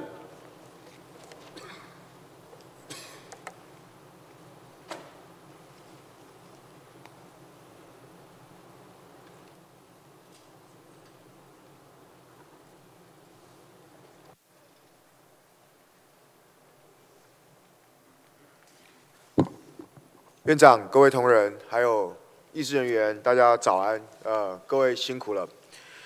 劳动基准法第三十八条是规定，劳工在同一雇主或事业单位继续工作满一定期间内，可以获得特别休假的天数。那么在民间企业呢，劳工常常遇到的现现象是，年资够了，依法获得的这些特休，却没有办法实行休假的权利，因为老板不同意。那所以这些假呢，就等于是看得到，但是吃不到，想休也没得休。所以呢，如果说这个三十八条里面让劳工没有用完的特休假，借由这个呃用金钱来去代替的话，看起来好像是对于劳工的补偿。那但是其实很多时候，老板是宁愿发钱给你，也不愿意你休假。那这是第三十八条的规定，等于是开一个一扇门给这些惯老板。那我们都知道，台湾其实有一百多万个中小企业，而许许多多的劳工，他们的政经地位、社经地位，或者是他们本身的经济条件，不得已就一定得要在这个公司工作。那所以就造成一个变相的资方还是有权利去控制劳方的一个状况。那么劳资方发钱给劳方换他的特休假，那劳方被迫也得以接受，那也对他的家庭生活其实受到了影响。所以说呢，政府又提出来说，可以透过劳检或劳资会议来去进行一个协调。那本席要特别强调说，台湾的劳资关系不对等，那基本上许许多多的劳资会议都是透过。造假，或是刚现在目前所我们在这个法里面所要求的备查的部分来去进行，那我们知道这并没有一定程度的约束力。我必须要强调，有些劳工对于他的特休，他想要换成加班费；也有些劳工希望休假就是归休假。所以最好的方法呢，我们就是应该把这个权利归还给劳工。让劳工朋友们拥有绝对的主导权，让当年度的这个休假为原则。那如果当年度没办法休完的，那可以累积到第二年，而这些必须要劳工自动来提出。那企业老板应该要从善如流，应该要接受，而且不应该要拒绝。这样的做法才可以真正保障台湾劳工。我想。劳动基准法是一部维系社会安全最低规范的法律。一是啊，企业运作需要弹性，但是还是要遵守一个民主人权社会对于劳动力使用最低保障的制度。这一次的修法将会为台湾相当的代价，因为它是让原本不会有的结构。他可能借由这一些法律上的一些漏洞，给予资方更多的支票、空白授权，然后让资方可以进行某一些程度的一个操作。所以呢，希望在这最后的几个小时之内，大家还是可以谨慎，而且真正去思考我们在这里所做的每一个决定。会影响台湾的下一个时代。谢谢。好，谢谢徐委员。下一位，请陈委员学胜。啊，要要换还是怎么样？好，来。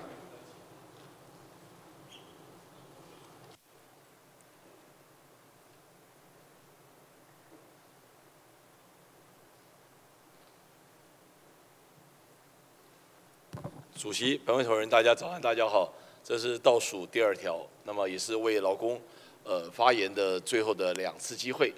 那么这个条文是所有的条文里面，诚如我们刚刚几位同仁发言的，它是我们朝野共识度最高的。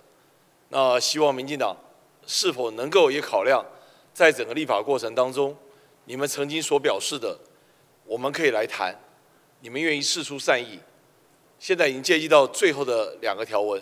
那最后一个条文根本不用谈，那只是压时间而已。那唯一有的机会，就是在整个修法过程当中，到底民进党有没有施出一丝善意，还是完全像坦克车似的，照你们的意志压过了劳工，压过了在野党，完全没有任何其他方的意见可以被你们参酌。我相信在座各位有很多从事过社会运动的朋友，一定很了解，如果你是靠。执政者施予的这种慈悲是没有保障的。同样在劳资的受雇关系当中，如果你要寄望于资方对你的慈悲，那也是奢求的。当然，我们会碰到好老板，大家一起来商讨公司的未来发展。我觉得这是我们最好的期望、最好的梦境。但问题是，往往事不如人意，所以这时候就需要有法律的保障。所以在这一次整个特休假的递延。还有可以转换为这个加班费，最主要就是由劳方来发动。这劳方的发动，就是你不需要透过劳资的协商，要经过资方的同意以后，你才可以获得你应该有的特休权利。我觉得站在各位你们社运团体的朋友里面，当初不管大埔事件，任何事件发生，你们为什么走在第一线？你就认为政府不公的时候，人民本来就有发生的这个权利，这权利土地本来就是人民的，今天特休假就是属于劳方的，为什么资方有任何可以智慧的地方？资方本来就应该尊重劳方，除非劳方觉得他愿意体会大局，然后配合资方，然后再另外做其他的抉择。但所有的发动权一定在劳方，所以请在座各位再再再再深思，是否在这个条款里面证明了这次的修法里面真的民进党你没有试出一丝丝的善意。最后，我要感谢在这一次的劳基法修法过程当中。有那么多的警察投入了整个维安的过程，我觉得他们才是最伟大的。但是在劳基法里面，他们却是被忽略的，因为他受限于公务人员的资格条件，连老师都可以组工会，但是我们的警察、消防人员却不能组工会。这一次的维安过程当中，有太多过当，有太多自用警力的地方，但是连警察一连吭一声都没有机会。所以，如果真正未来，民进党要保护真正的劳工的话，我希望给警察也有主工会的权利。我觉得这一点也是民进党你应该可以努力的，不要让它变成劳基法所谓的画完字。谢谢陈委员。下一位，请柯委员致恩。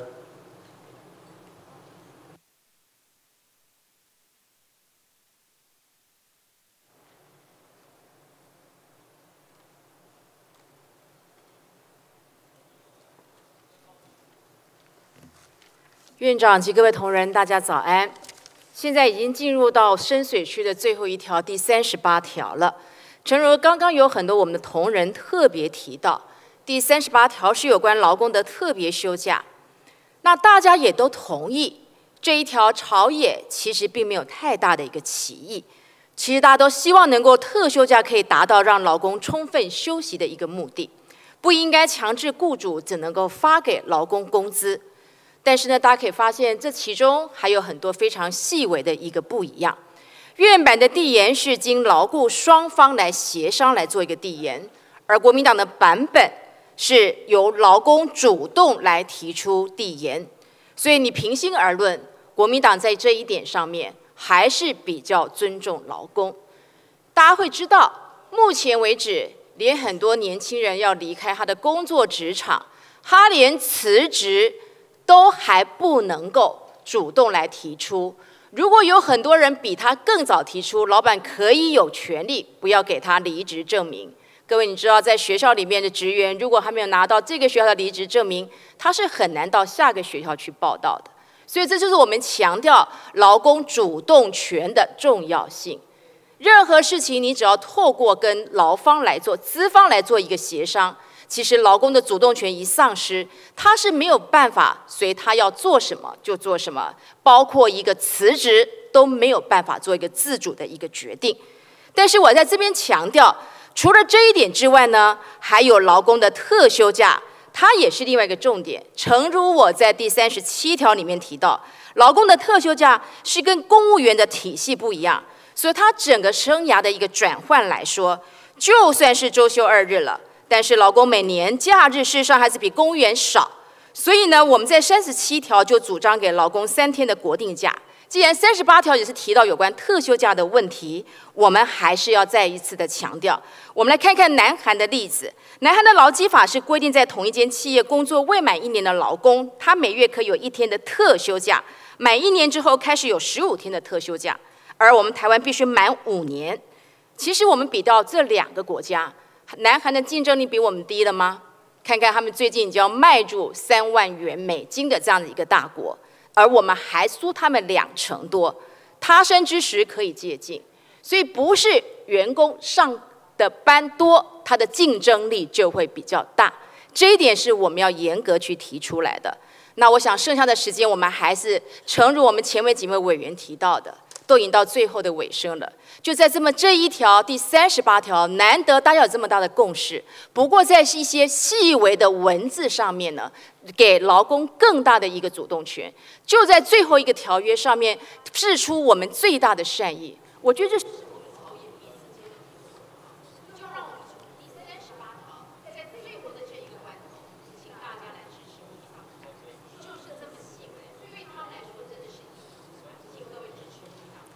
谢谢柯委员，下一位请孔委员文吉。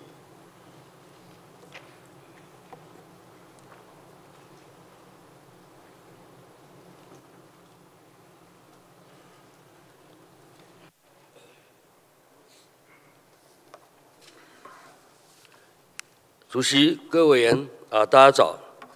这一条是规定，劳工在同一个雇主或事业单位。他继续工作满一定期间，每年都可以依规定给予特别休假。但是呢，这个是指给雇主弹性，连劳工特别休假的权利呢，都要放任雇主跟劳工自行协商，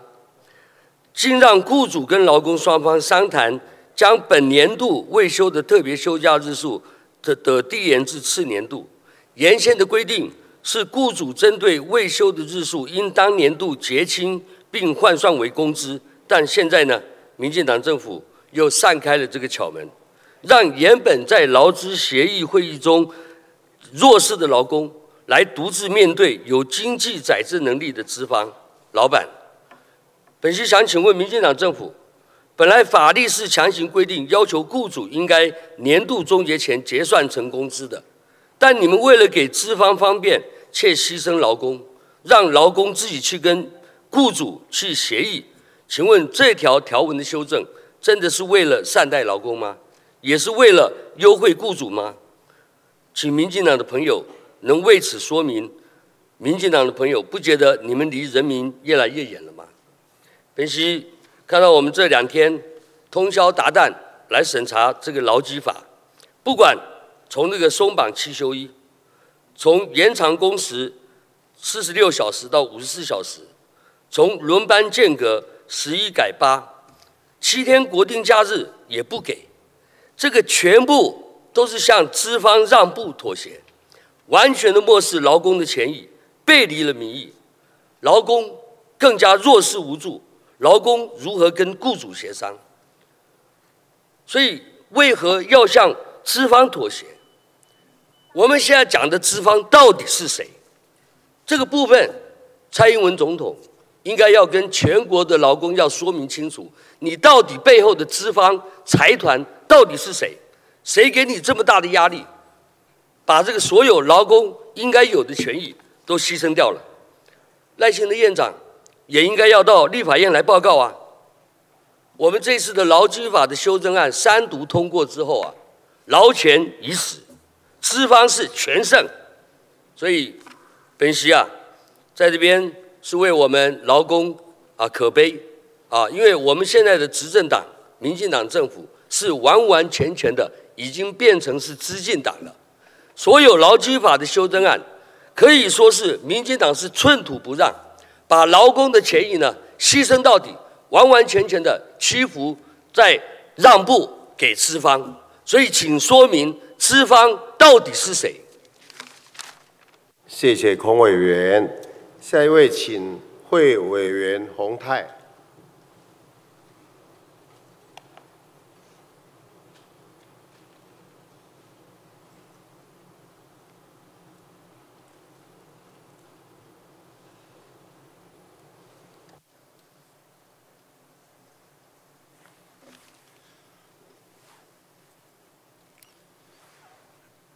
主席、各位委员啊，天亮了，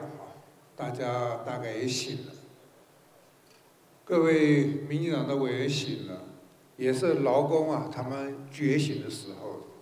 他们总算看清楚民进党是怎么样对待他们。三十八条虽然是我们国民党跟民进党比较靠近的，但是民进党还是为德不足。为什么这个决定权，这个特休假的决定权要双方协议？双方协议摆明了就是由资方来决定嘛。就像我们现在我们议场的我们议事人员，哪一个人敢去跟院长、跟秘书长讲说，你们这样做不对，我们很累。讲了，我看没没多久就被换位置。各位，民进党的委员们，真的也该醒。想想看，你摸摸良心看，你们这两年对得起我们的劳工朋友吗？前面七前面六条加上这一条算半条，哪一条不是导向资方呢？我今天讲了好几次了，大概第三次还是第四次，三十二条、三十四条、三十六条，就像三支毒箭一样，每一支箭都射到我们劳工的心坎里去。蔡英文讲对了，劳工是他心里最软的那一块，那个那块很软，一射就射得很深，劳工都倒地哀嚎。哀嚎的时候，各位，你们有听到他们的声音吗？前面六条的表决，你们没有一条愿意再做一点点上的让步，包括蒋安委员所提所提的，也跟你们也比较靠近，连这一点也不肯向劳工来表示对他们的尊敬的意思。民进党政府，你用选票选赢的，你很了不起，但是没有人民的支持，你会继续了不起吗？我真的奉劝，在还没有结束，二读还没有结束，还有短短的一点时间，民党的委员摸摸自己的良心，你们今天一个冗长的。我们也在透过国会的频道，让劳让全国的劳工朋友们知道，我们这部劳基法前面这七条到底在谈些什么。如果老公的朋友静下心来。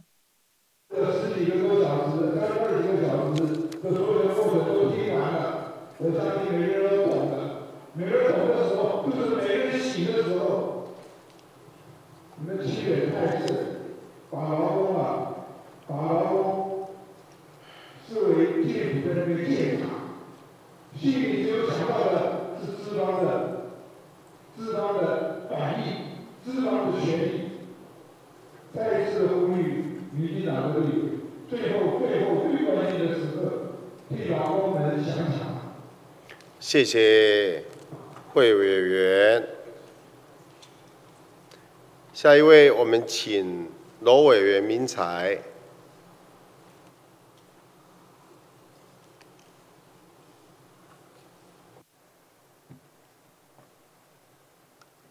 主席、副院长，在座各位同仁，大家早安，大家好。现在的时间是早上七点四十六分。看到太阳从东方暖暖的上升，太阳是出来了，光明出来了，可是劳工的希望、劳工的未来是进入黑暗的时期。有句话：人争一口气，佛争一炷香。所有的劳工朋友们。你们辛苦了，但是我相信你们不会孤单。我们今天所有的在野党的很多同仁，经过三十六个小时不断电的残酷、不人道、血汗的立法院的加班，我们再次看到了民进党铁石的心肠。仿如一辆大坦克压过手无寸铁的劳工，劳工朋友们跟我们一样，人为刀俎，我为鱼肉，任人宰割。但是只要有我们在，我们这一口气会永远永远陪着劳工朋友，永远跟大家站在一起，不断的来争取。第这一条第三十八条谈的是特休假，我在想，有多少的劳工朋友一辈子没有办法当家做主？自己来安排属于自己的假日。前几条，你们已经可以说是毫不留情，没有一点点放松的味道。在这一条，我希望能多多思考，站在劳工的立场。有时候一天的假是非常难得、不可奢求的。有很多人因为工作的因素，在过年的时候、过节的时候，一辈子没有办法跟家人好好的团聚，是不是有时候可以有一天或是两天、几天的特休假的时间，可以真正完完全全自主的让劳工朋友们自己当家当主人？至少站在劳方的立场，他可以有主动权来做自己属于自己的安排。那我们都知道，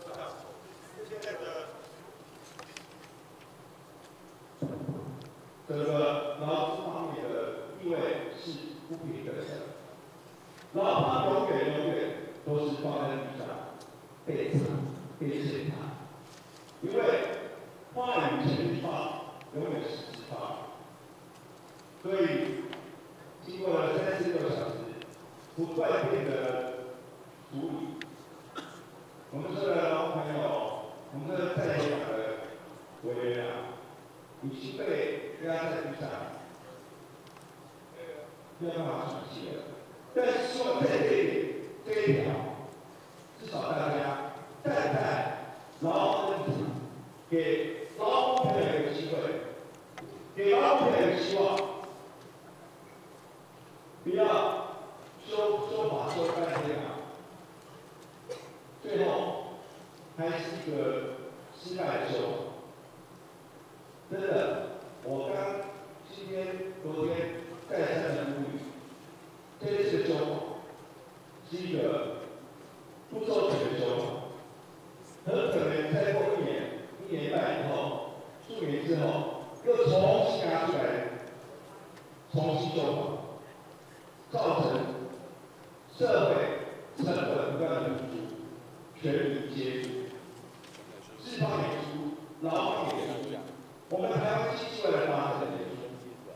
所以拜托你先发，请大家多多站在劳方的立场，谢谢。谢谢罗委员。下一位，请刘委员四方啊，布花园。下一位，请徐委员增位。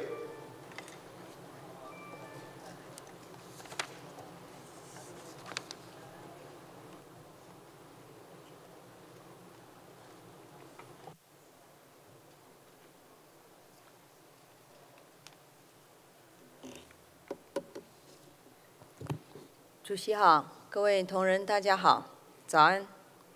第三三十八条。特休假可以递延，今年拿不到钱，明年也不一定休得到假。去年砍了劳工的七天假，是一例一休的配套，因此增加了新进员工的特休假。特休假的意义是什么？就是要让员工可以充分的休息，可以舒压，也可以增加工作的效率。毕竟。工作不是人生的全部，但是现在又要修法，让休不完的特休假可以递延。换句话说，今年休不完，无法换成工资，递延到明年也不一定休得到假，等于让老板一直欠着员工的假。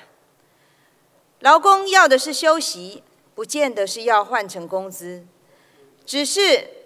在无法休假的情况下，将假日换成工资是勉强可以补偿的方式，结果修法又让假期可以递延，钱无法拿到，假无法休到，这样的恶法，只有民进党才想得出来，完全执政，完全欺骗，还一直擦脂抹粉的说新修法，劳工的权益不变，实际上看得到吃不到。如果真的假休不完，要递延，要换成工资。也要让劳工有主动权，而不是被动的任由资方来宰割。所以，国民党的版本给劳工自主，也给资方有弹性，才是双赢的修法。此次行政院版修法开了这么多后门给资方，根本和改为一例一休之前差不了多少。去年想砍七天假，资方就说一例一休有多好有多好，现在又说一例一休僵固要修改。但是政府平白砍了劳工的七天假，现在要修法放宽资方的弹性，让劳工越来越血汗，是不是先把七天假还给劳工呢？让劳资双到一例一休。重新思考如何修正劳动时间的变动，不管是劳方还是资方，都是动一法而牵全身。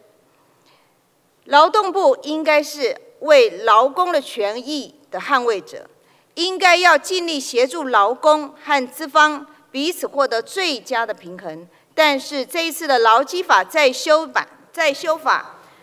我们看到的是我们看到的是劳动部变成了自动部，劳动部帮资方企业压榨我们的劳工，让过劳低薪的状况一再成为年轻人的噩梦。在我们国家中挥之不去，蔡总统还痴心妄想最低工资三万元起跳，没有友善的劳动环境，没有良好的劳动条件，三万块钱只是变成。台湾年轻人另一个低薪的起点。前面我们讨论过的所有的条文，保障劳方的所有的权益，都像坦克车开过你过，资方大胜。至少在这一个特休假的部分，让劳工可以有自主权。在这里，请民进党委员支持国民党的版本，谢谢。谢徐委员。下一位，请廖委员过动。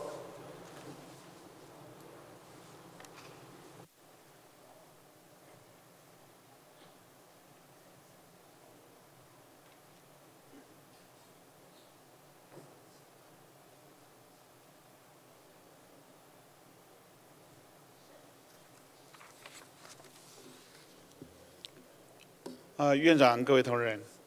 在历经呃三十六个小时的不断电啊进行呃审查之后呢，我们终于啊进入最后的阶段了。那我们今天国民党所提的劳基法第三十八条的修正案呢，是为了要面对劳工过劳的问题。我国现在最大的问题呢，是劳工的工时过长，休假日又不足。那么，为了要改善工时过长这个问题呢，我们必须要诚实的面对，面对台湾劳工过劳的现象，设法降低总工时。那么，根据劳动部统计呢，台湾二零一六年的总工时是二零三四个小时，而 OECD 会员国平均年总工时则是一千七百六十三个小时，所以台湾多出了两百七十一个小时。那么台东呃台湾的这个劳工过劳的现象呢，有越来越严重的现象，因为长工时或短期的密集劳动啊，都导致了一个过劳。一个人如果一天工作十一个小时，那么发生心肌梗塞的几率是二点四四倍；工作十二个小时，则有百分之三十七的职业风险、医疗舒适舒适的风险。如果每周工时是六十一个小时的话，心肌梗塞的几率是两倍。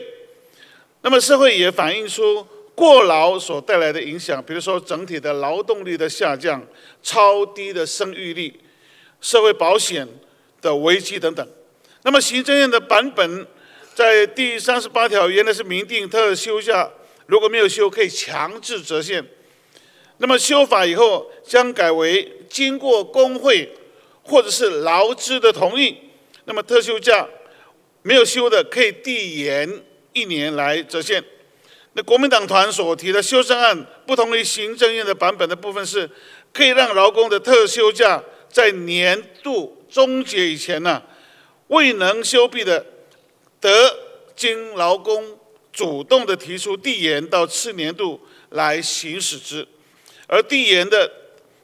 特休对劳工也没有什么不利，而且比较符合特别休假，就是要让劳工有更多的时间来休养生息，不不不必强制啊，雇主说只只能发放现金啊。那么递延的这个特别休假呢，不能在年度终结后劳动契约终止休毕之前的，雇主仍然应该要发给工资，以保障劳工的权益，多了一些弹性，比起行政院只用钱来解决问题，较为可取。谢谢廖委员，下一位请蒋委员来心。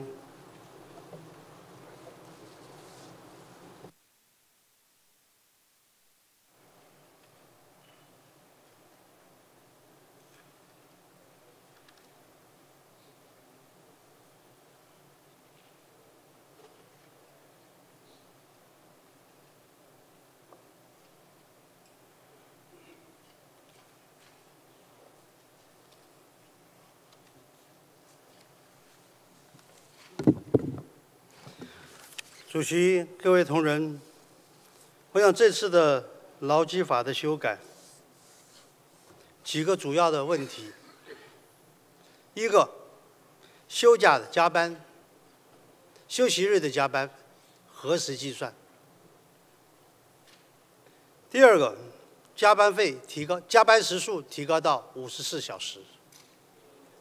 第三，轮班的间隔从十一小时降到。八小时。第四，松绑七休一。然后在去年修改劳基法的时候，一例一休，把原定的七天的国假规定假日取消了。而在这一次的学这次的劳基法修改，我们看看到。这是所谓的劳动基准的条件吗？这是在保障劳方基准的条件吗？我觉得完全跟蔡英文以往讲的话是背道而驰，是背道而驰。我们我们想想看，二零零八年蔡英文讲过，民进党。特别关心农民与劳工，这是民进党的根本。劳工是民进党的根本的。二零一一年，有关无薪假的问题，蔡英文说，马政府处理时，竟把企业的利润看得比劳工的权益更重要，这样的政府要换一换。二零一三年。原本应该照顾劳工的政府，却趁现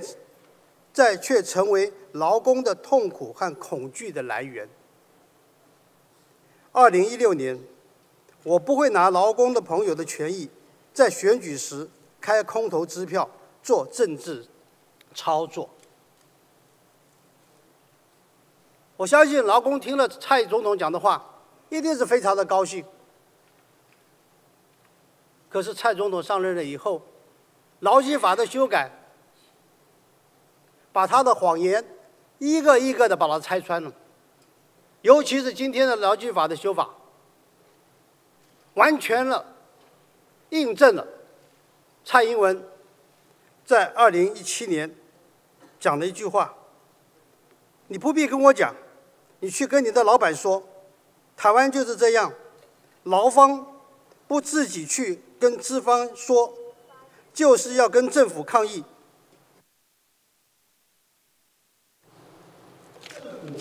攻击面试，你们要自立自强。所以，是不是这次劳基法就是想逼着劳方自立自强？所以这几天大家讨论，劳方必须要自立自强。第一个人。在追捕之前，你稍微去后，所说的话，既然可以这样的一百八十度的推演，劳方是他的根本，对劳方不利的，政府应该要反对。我请问一下，这些对家办的怎么是？是不是他自己？是不是民进党的问题？谢谢。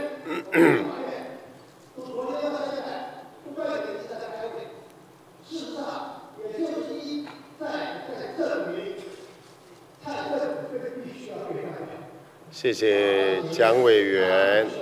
啊，好，谢谢。这一条，我们可以看到，第一个连续加班五十四小时，间隔又从十一小时变成八小时，中保期休一，然后去年的七天多一点又不管理他，请问一下，劳工在这种情况下还有时间去轮休吗？还有时间去休假吗？我们为什么会让他主动的掌控他自己休假的时间，可以让他理解？我想这个提案，如果是真正关系劳工的话，我们都应该要支持。谢谢。谢谢蒋委员，谢谢。下一位，请马委员文君。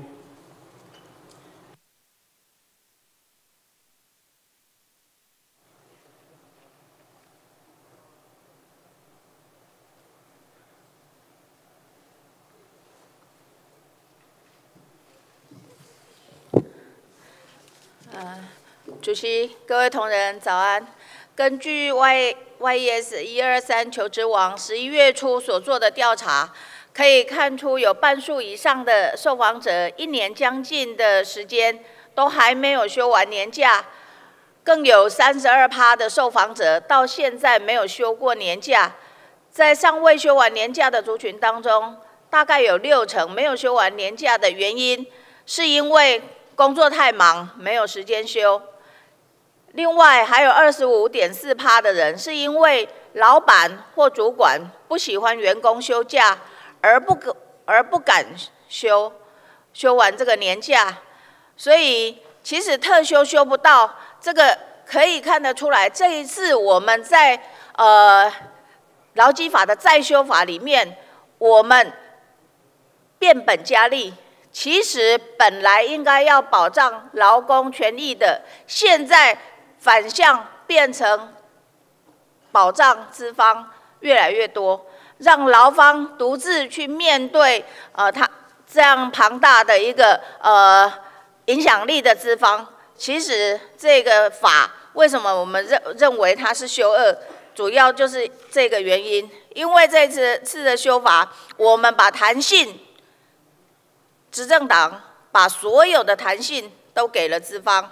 不过我想资方也不用太高兴，因为如果在你的基石劳工是所有呃不管企业也好，其实它是很重要的基石。现在如果修成这样的恶法，到时候这把火还是会烧回到自己。就像我们七天的国定假日，当初在修一例一休的时候。我们拿掉了国定假日，当时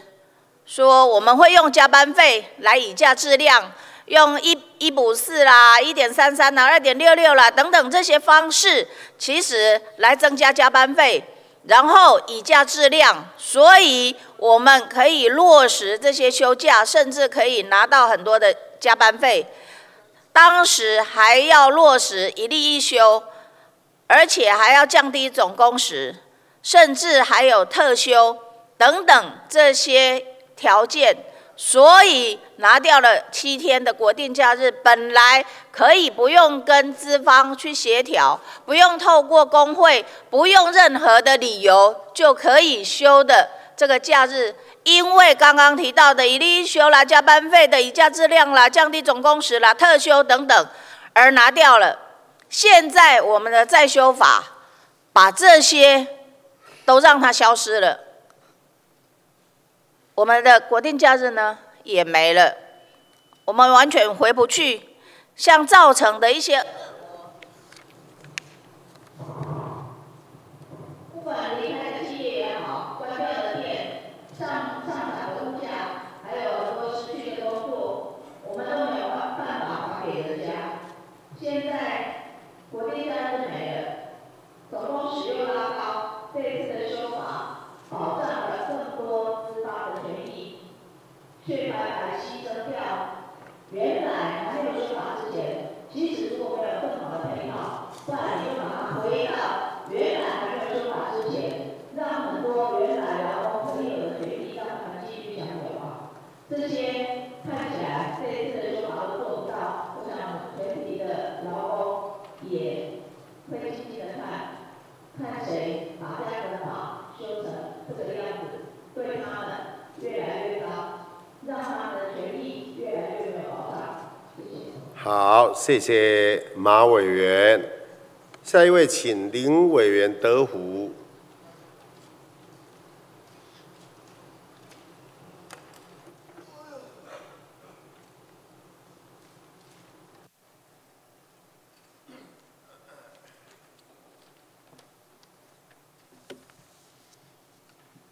呃，苏苏院长，还有与会各位同仁，我想，还有这个第三十八条啊，这个台湾整个经济的发展以中小企业之经营，我想本党再次强调，绝不是建立在劳工过劳上。民进党此次强行通过的过劳条款，将面对以后历史的严格考验。我们皆知，成功企业是将员工视为重要的资产，给予员工优渥的薪资、福利以及劳动条件，员工才能为企业创造价值，并带动台湾经济的一个成长。特别休假制度在于让工作满一定时间的劳工，透过休假恢复身心健康，倘使劳工愿意递延至次年度再行使。特别休假的权利者对劳工并无不利，而且符合特别休假系让劳工得充分休养生息之立法目的，不应限制劳工仅能受领未休毕之特休假的工资。鉴于特别休假系让劳工休养生息以维护劳动力之制度，然。劳动基准法第三十八条规定，劳工之特休假，因年度终结未能休毕之日数，雇主一一律发给工资。考量若经劳工主动提出递延至次年度行使特休假，对劳工更加有利，而且符合特别休假系劳工充分休养生息立法之目的，尤其年资较浅的劳工。之特别休假日数较少，其更有递延特休假日数到次一年，以利积假累积较多特休日数，做更弹性的利用。例如安排较长天数的国外旅游等等之需求，不应限制劳工仅能受领应休未休特别休假工资，却无法选择递延特别休假至次年。此次修法明定，劳工得主动提出递延特别休假至次年度行使。本党团特别强调，主动权在于劳工的手上，而非不对等的劳资协议，避免看得到却吃不到的民进党这个修法的骗局，而且递延后之特别休假，未能于次年度终结或契约提前终结前休毕者，雇主能应发给工资，以保障劳工权益。这是目前最有共识的条款。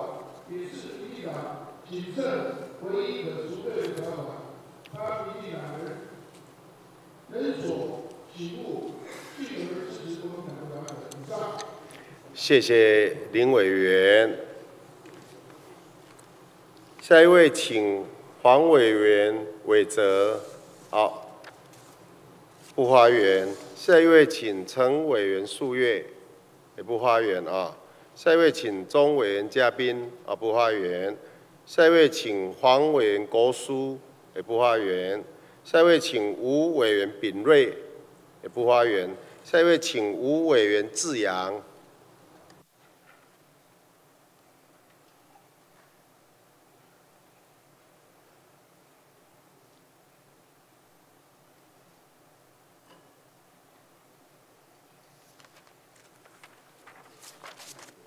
好，主席大家好哈，应该都起来了啦，好，精神都好了啊。三十，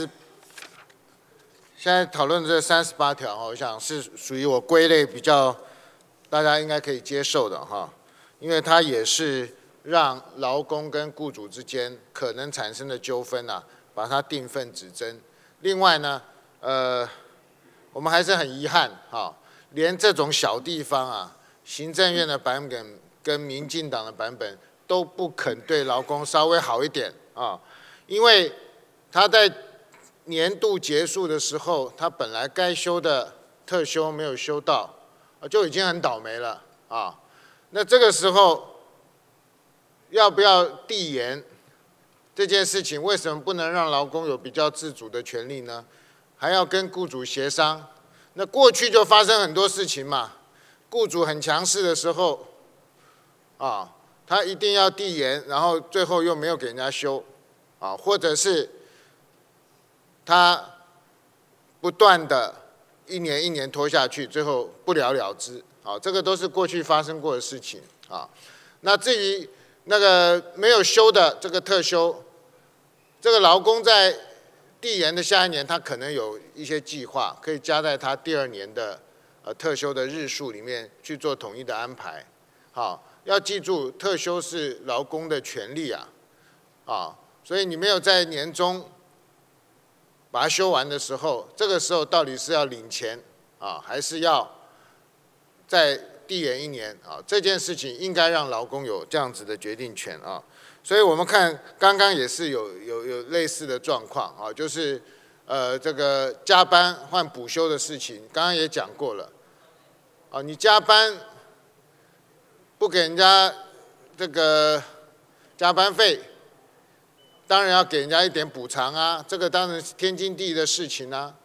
可是加班的工资跟一般的工资会一样吗？当然不是一比一嘛。加班在不同的状况下加班，本来就有不同程度的加码的工资嘛。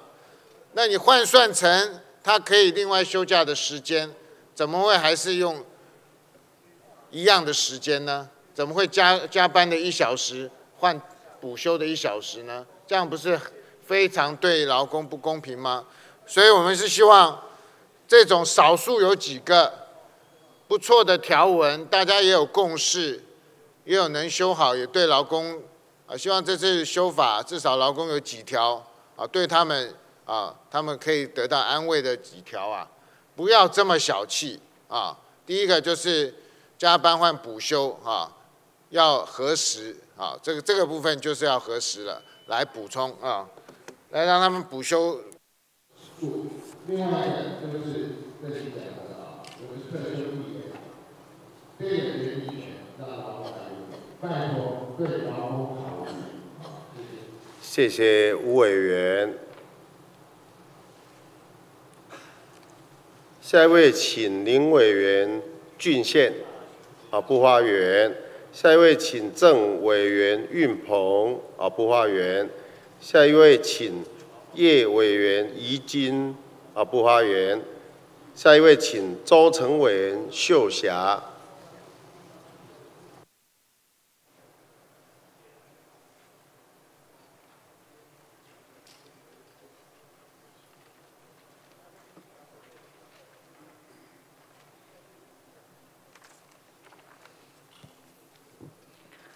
啊，院长，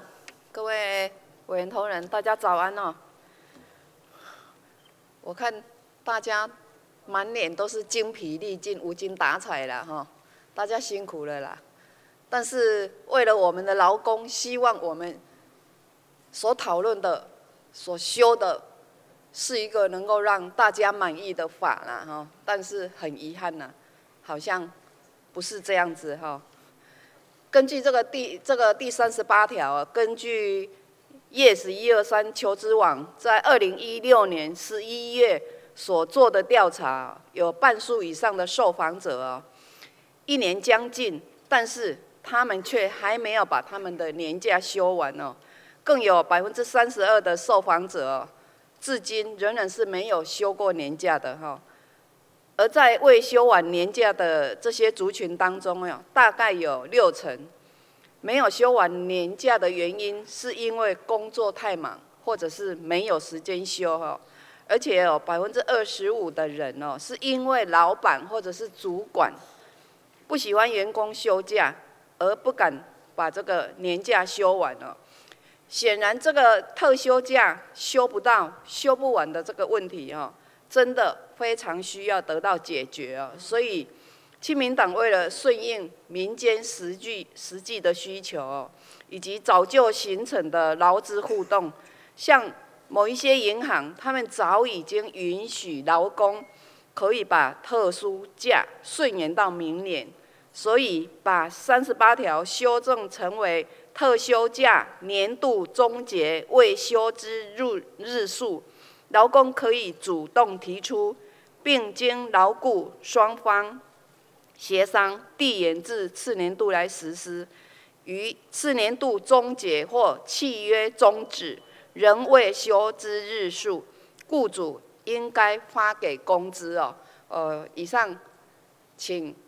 大家给予支持哦，因为这是最最微薄、最微薄的请求了哈，请。执政党的同仁哦，给予小党这么小小的恳切的要求，谢谢。好，谢谢周成委员。八委员会所有登记发言的委员均已发言完毕，我们就要来处理第三十八条。那么第三十八条有。啊，三个党团提出在修正动议案，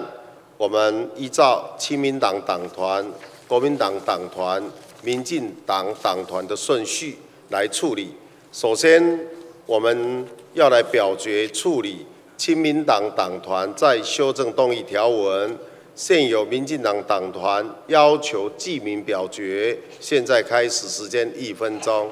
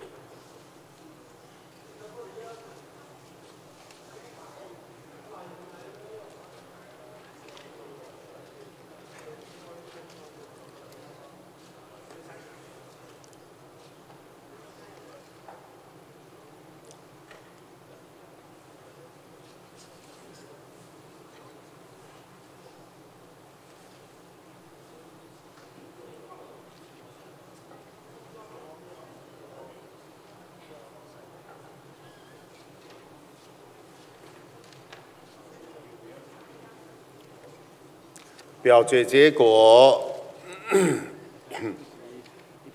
出席一百零一人，赞成三十六人，反对六十五人，弃权零人。赞成者少数。亲民党党团在修正动议条文不通过。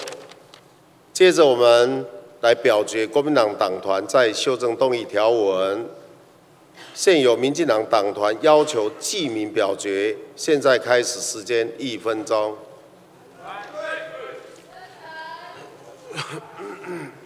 Ugh.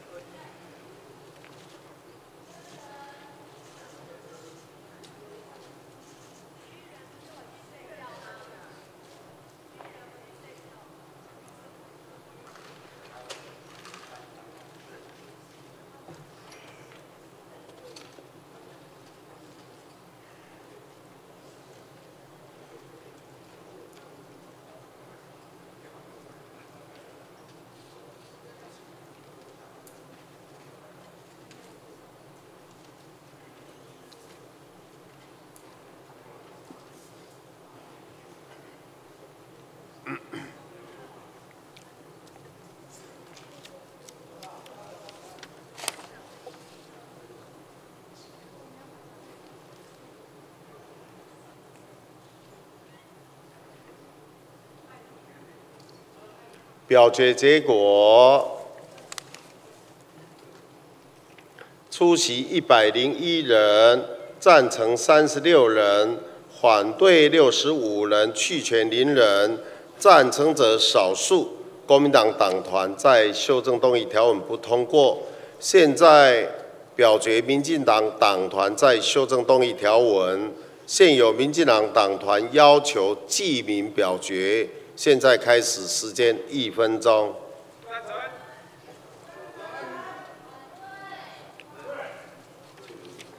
邱委员意淫声明，对昨天晚上一直到今天晚上之表决，与民进党党团意见一致，列入公报记录。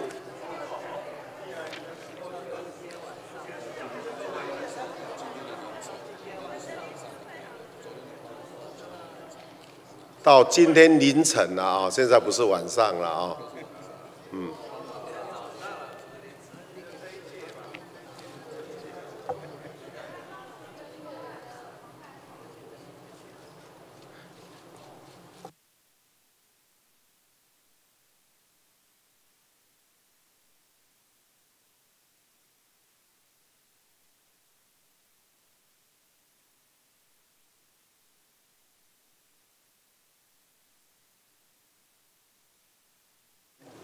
表决结果：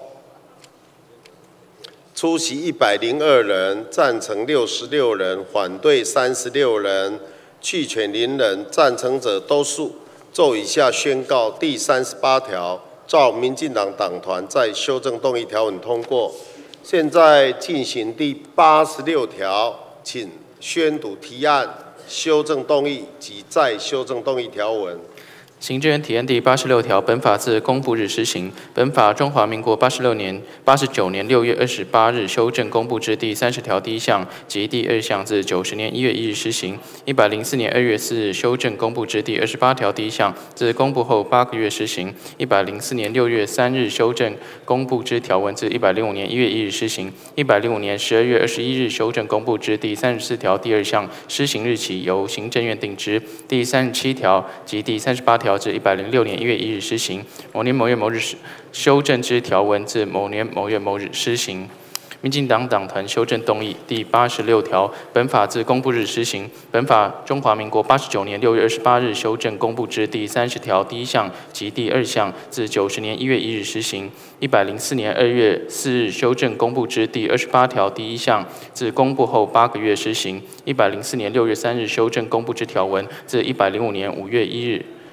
一百零五年一月一日施行。一百零五年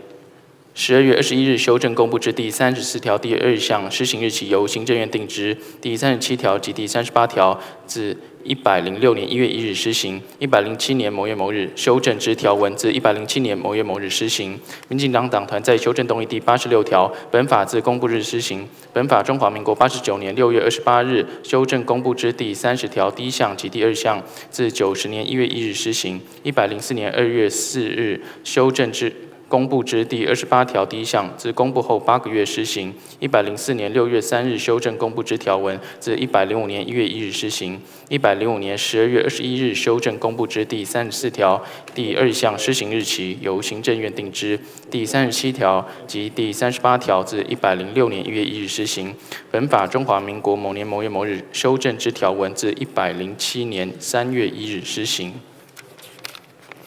委员郑明忠等所提修正动议第八十六条，本法自公布日施行。本法中华民国八十九年六月二十八日修正公布之第三十条第一项及第二项，自九十年一月一日施行。一百零四年二月四日修正公布之第二十八条第一项，自公布后八个月施行。一百零四年六月三日修正公布之条文，自一百零五年一月一日施行。一百零五年十二月二十一日修正公布之第三十四条第二项，自一百零七年七月一日施行。至实施第三十七条及第三十八条，自一百零六年一月一日施行。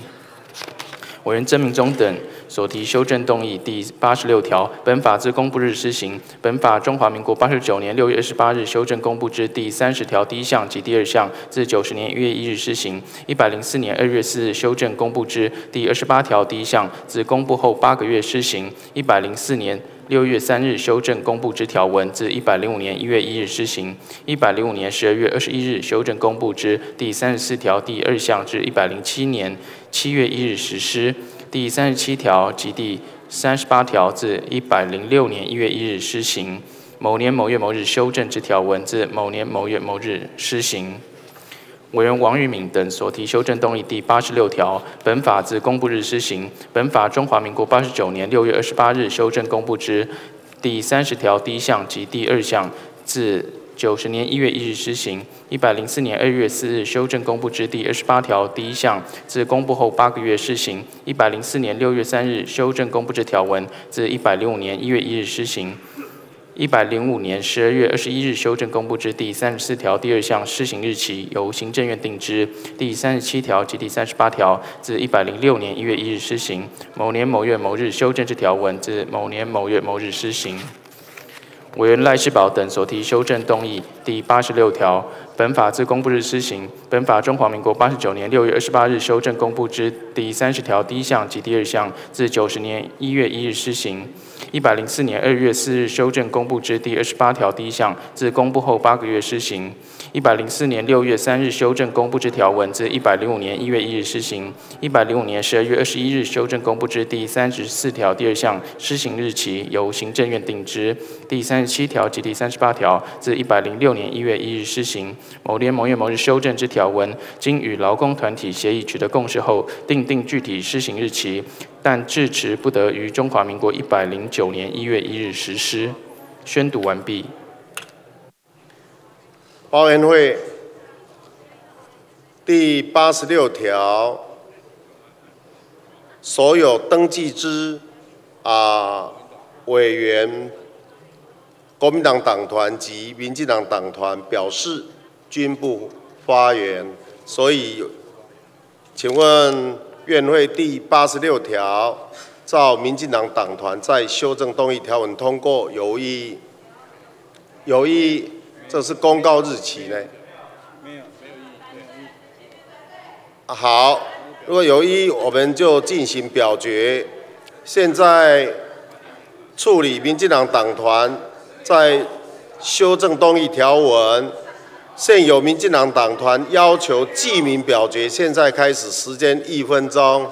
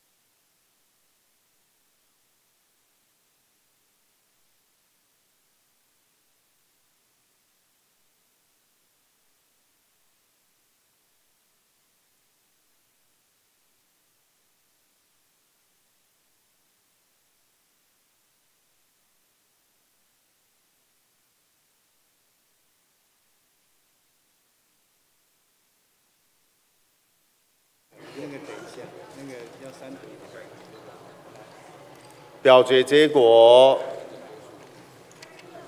出席一百人，赞成六十五人，反对三十五人，弃权零人。赞成者多数。做以下宣告：第八十六条，照民进党党团在修正动议条文通过。